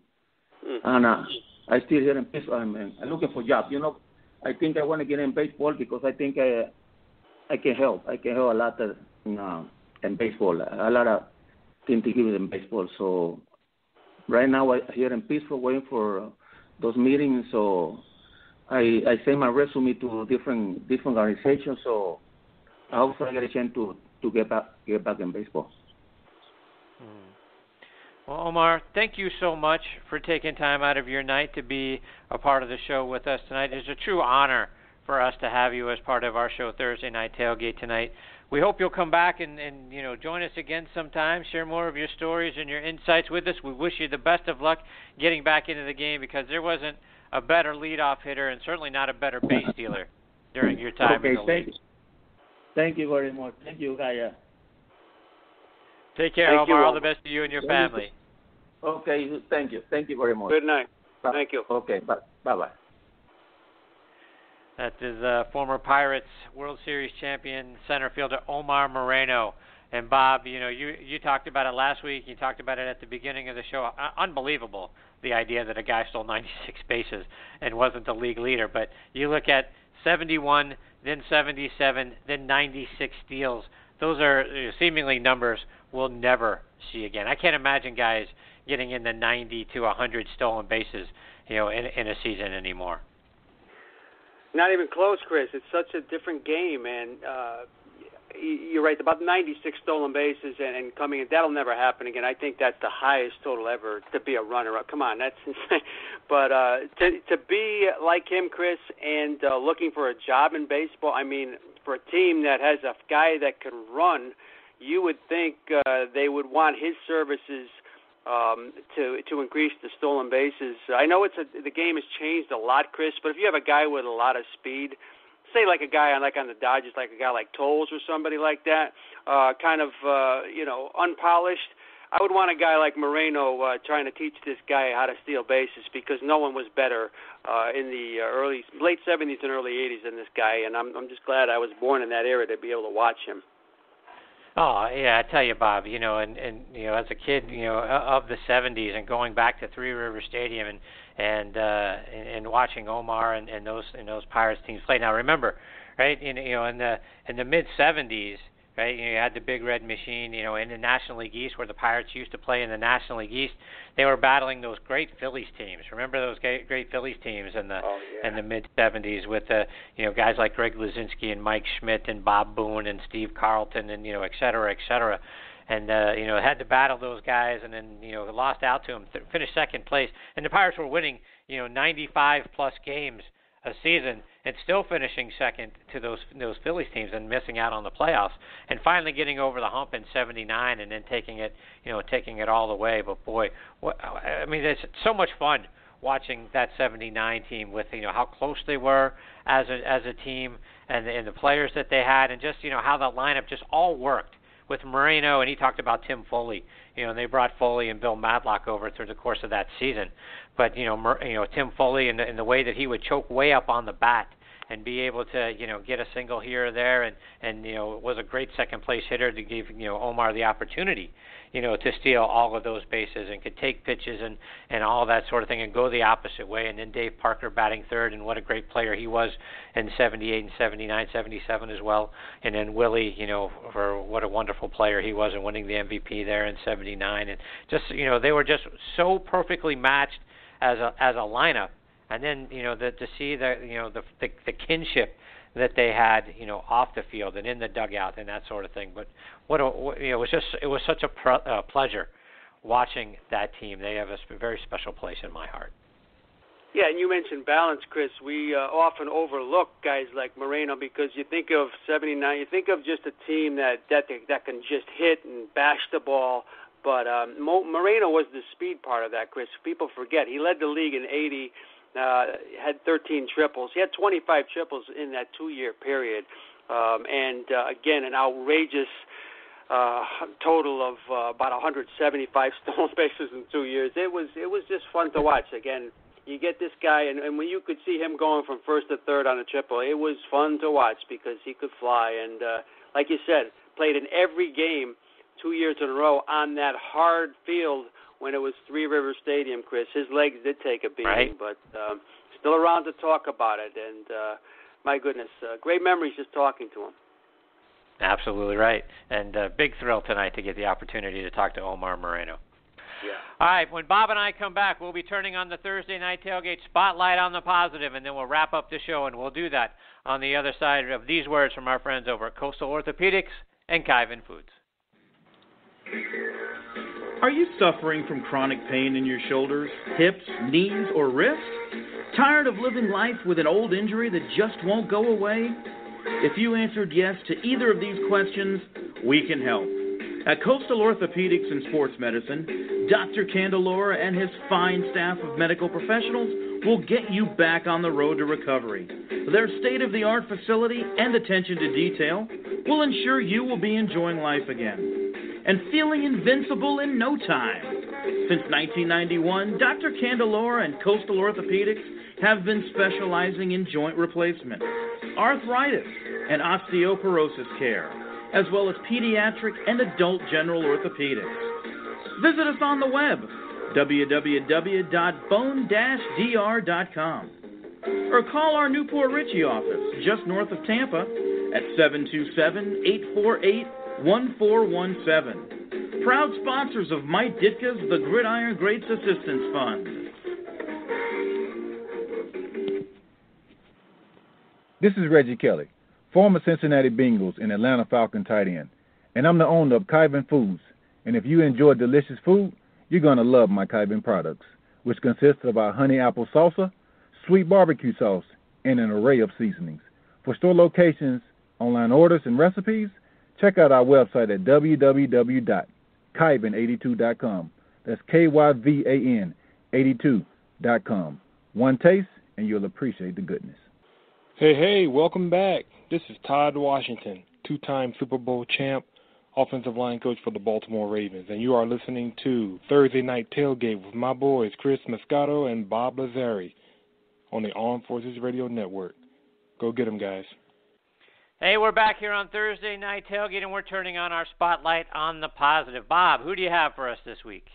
Well, Chris, we're going to stay here uh, local in New England and talk about the things that Danny, Danny Amendola does. You know, I was uh, looking at some of the Patriots, very charitable group up here, but uh, wanted to find out more about what he did and uh, has something called Catches for Kids, his own uh, organization, Chris. And if you go to the website, it's dannyamendola.org.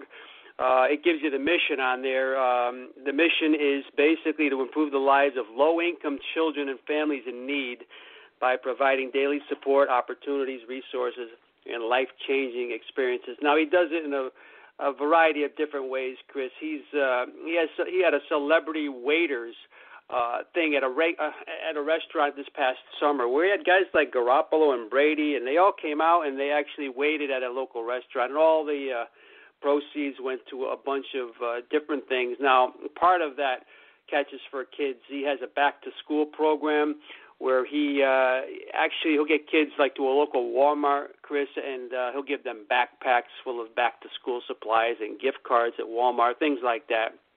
Uh, so kids can have a, a fair shot in beginning the school year. And then a lot of the proceeds also go to this thing uh, that he calls the Catch a Book Room, which gives uh, at-risk students they have a lot of access to books uh, that they could read with friends and families. And um, he ac- actually will help improve and maintain libraries uh, throughout schools uh, in the inner cities. So again, he's a big, big into education, Chris. And uh, again, um, you know, he goes under the radar because of the superstars up here in New England, but uh, he is a superstar off the field. Kudos to Danny Amendola. There you go. Bob, tonight I'm going to put the spotlight on uh, Browns running back Isaiah Crowell. You may recall that uh, earlier this year, people were outraged at Crowell for the picture that he posted out on Instagram of a of a police officer being stabbed in the neck, and he did that in response to some of the issues going on between the African American community and our law enforcement agents. He uh, he quickly deleted that uh, that uh, Instagram post, but you know damage was done. It was already out there. Scott Van Pelt of ESPN, I believe, you know, summed up the situation Bob best in a in a piece he recently did, saying there's no room in the outrage cycle for the follow-up. Say or do something foolish, it gets discovered, people get livid, demand to get their pound of flesh, angry mob moves on. Nobody gets concerned about what comes next because they're on to the next thing. Well, Bob, what came next for Isaiah Crowell was he was big enough to realize that what he did wasn't right. He didn't know, you know, what it was like to be a police officer or to walk in their shoes. So here's what he did.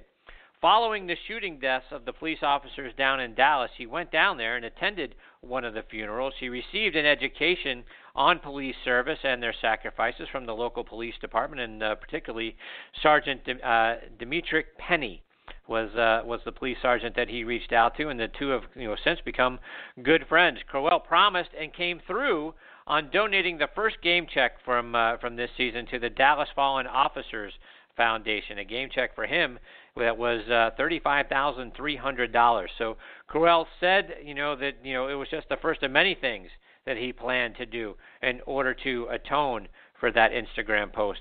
Mary Kay Cabot of Cleveland.com wrote a piece about this as well, and in her article, she wrote that Officer Penny said Crowell has become like a little brother. He's become a long-term sponsor for their foundation. Crowell is also going to be involved with the widows of the fallen officers' families, and Officer Penny also believes it's you know not coincidental, by the way, that Crowell is running with a renewed vigor this season. It's another way that Crowell is finding daylight out of the darkness. He's a top 10 rusher in the league this season. He's averaging 5.2 yards per carry. So, you know, Bob, kudos to Isaiah Crowell for turning things around, right, and following up and following through on a promise to make a difference in the lives of the families of our fallen police uh, officers. So, kudos to uh, Isaiah Crowell and uh, to Danny Amendola for uh, you know for uh, Amendola for doing the great things that he's doing, like you pointed out, and to uh, Crowell for uh, you know sort of you know, making a positive out of a negative, if if you will, Bob. Oh, Chris, that's a great story about Crowell. So often a lot of these guys uh, that uh, make a bad mistake, uh, it's it's almost like they can't say I made a mistake. They'll continue on a downward destruction or uh, do something or just continue to wallow in uh, their uh, you know I, I don't I'm never wrong mentality. But it takes a real man and a real good person to uh, say, hey, I made a mistake and I am going to do this, this, this, and that to show you that it was a bad mistake and uh, this isn't this isn't just a, a PR stunt, guys. This is this is the real deal, and uh, that goes beyond the football field, Chris. That's a life lesson right there. Yeah, no, great points, Bob. Absolutely right. So uh, kudos to both guys for making a, uh, a a real difference. And you're right, Bob. You know, so many times we see you know guys just don't want to they don't want to own up to that mistake, and they just you know crawl away and hide. And you know the, the angry mob is as uh, as pointed out in you know in the story will go away. Well, he uh, he owned up to it and is making a real difference. You're right; it's not a PR stunt. Yeah.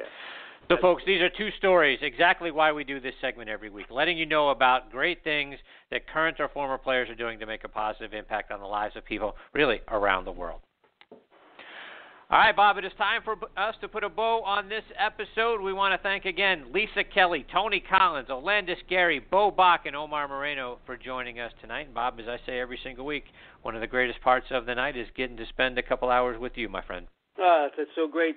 Thank you for your kindness, sir. And again, uh, the feeling is mutual. And uh, we had some great guests tonight, some good old friends, some new ones. And uh, hey, that's why we do it every week. We have a blast. That's exactly right. All right, next week, who do we have scheduled to join us? Well, author Jeff Pearlman will be back with us. He joined us a little bit earlier this year. He's got a new book out called Gunslinger about Brett Favre, and it's due out next week, so we look forward to talking with Jeff. Our good friend and uh, TNT Hall of Famer Zig Fracassi going to be back with us. I'm sure we'll be talking about his Cowboys, uh, plus get his thoughts on what they should do once Tony Romo is ready to come back. I'm sure we'll talk a little bit of hockey with Zig as well. Another guy who's been a great friend of the show over over the last several years is a former Dolphins, Redskins, and Chargers defensive end Marco Coleman, who will be back with us. A second author will be joining us, Ron Lippock. He's uh, he's got a book out called Steelers Takeaway: Players' Memoirs Through the Decades. So we'll talk a little bit of Steelers uh, with Ron Lippock when he joins us, and of course, former running uh, Patriots Pro Bowl running back Tony Collins will be back with us to do our five-star picks of the week. So we got another great show on tap for you, that, you know, next week. We hope you'll come back and be a part of it with us. Want to remind you, how can you follow us on social media? Well. We've got uh, our Facebook page, Thursday Night Tailgate. Please check us out. Give us a like. That's important to us. Plus, uh, Bob and I both have our own uh, Facebook pages as well. Plus, you can find us on Twitter. I am at CT Mascaro. Bob is at Bob underscore Lazzari, and the show is at TNT Podcast. Plus, you can stream or download any of our archive episodes for free, folks, by going on some great podcasting sites like our good friends over at Podbean. They have been so good to us, recommending the show, you know, putting us out there on their banner ads on their mobile app as well over the last few weeks. Can't thank them enough for doing that. You can also stream us, you know, on iHeartRadio, TuneIn. Blog Talk Radio, Spreaker, Stitcher, Audio Boom, Player.fm, SoundCloud. We are all over the net. So please, if you've got a favorite app, I'm sure you can find us on it. And if we're not on it, please let us know so we can make sure we get there for you. Bob, take us home, my friend. All right, Chris, you uh, enjoy the rest of the week. And again, thanks to our announcer, Joe Lajanusa, for the great job he does with our weekly intro and ads, and to James Brocato and all the guys from Painted Faces for our upcoming outro of music. On behalf of myself and Chris, we thank everyone tonight for listening. We appreciate you all the most. Until next week, good night, Kevin. We miss you.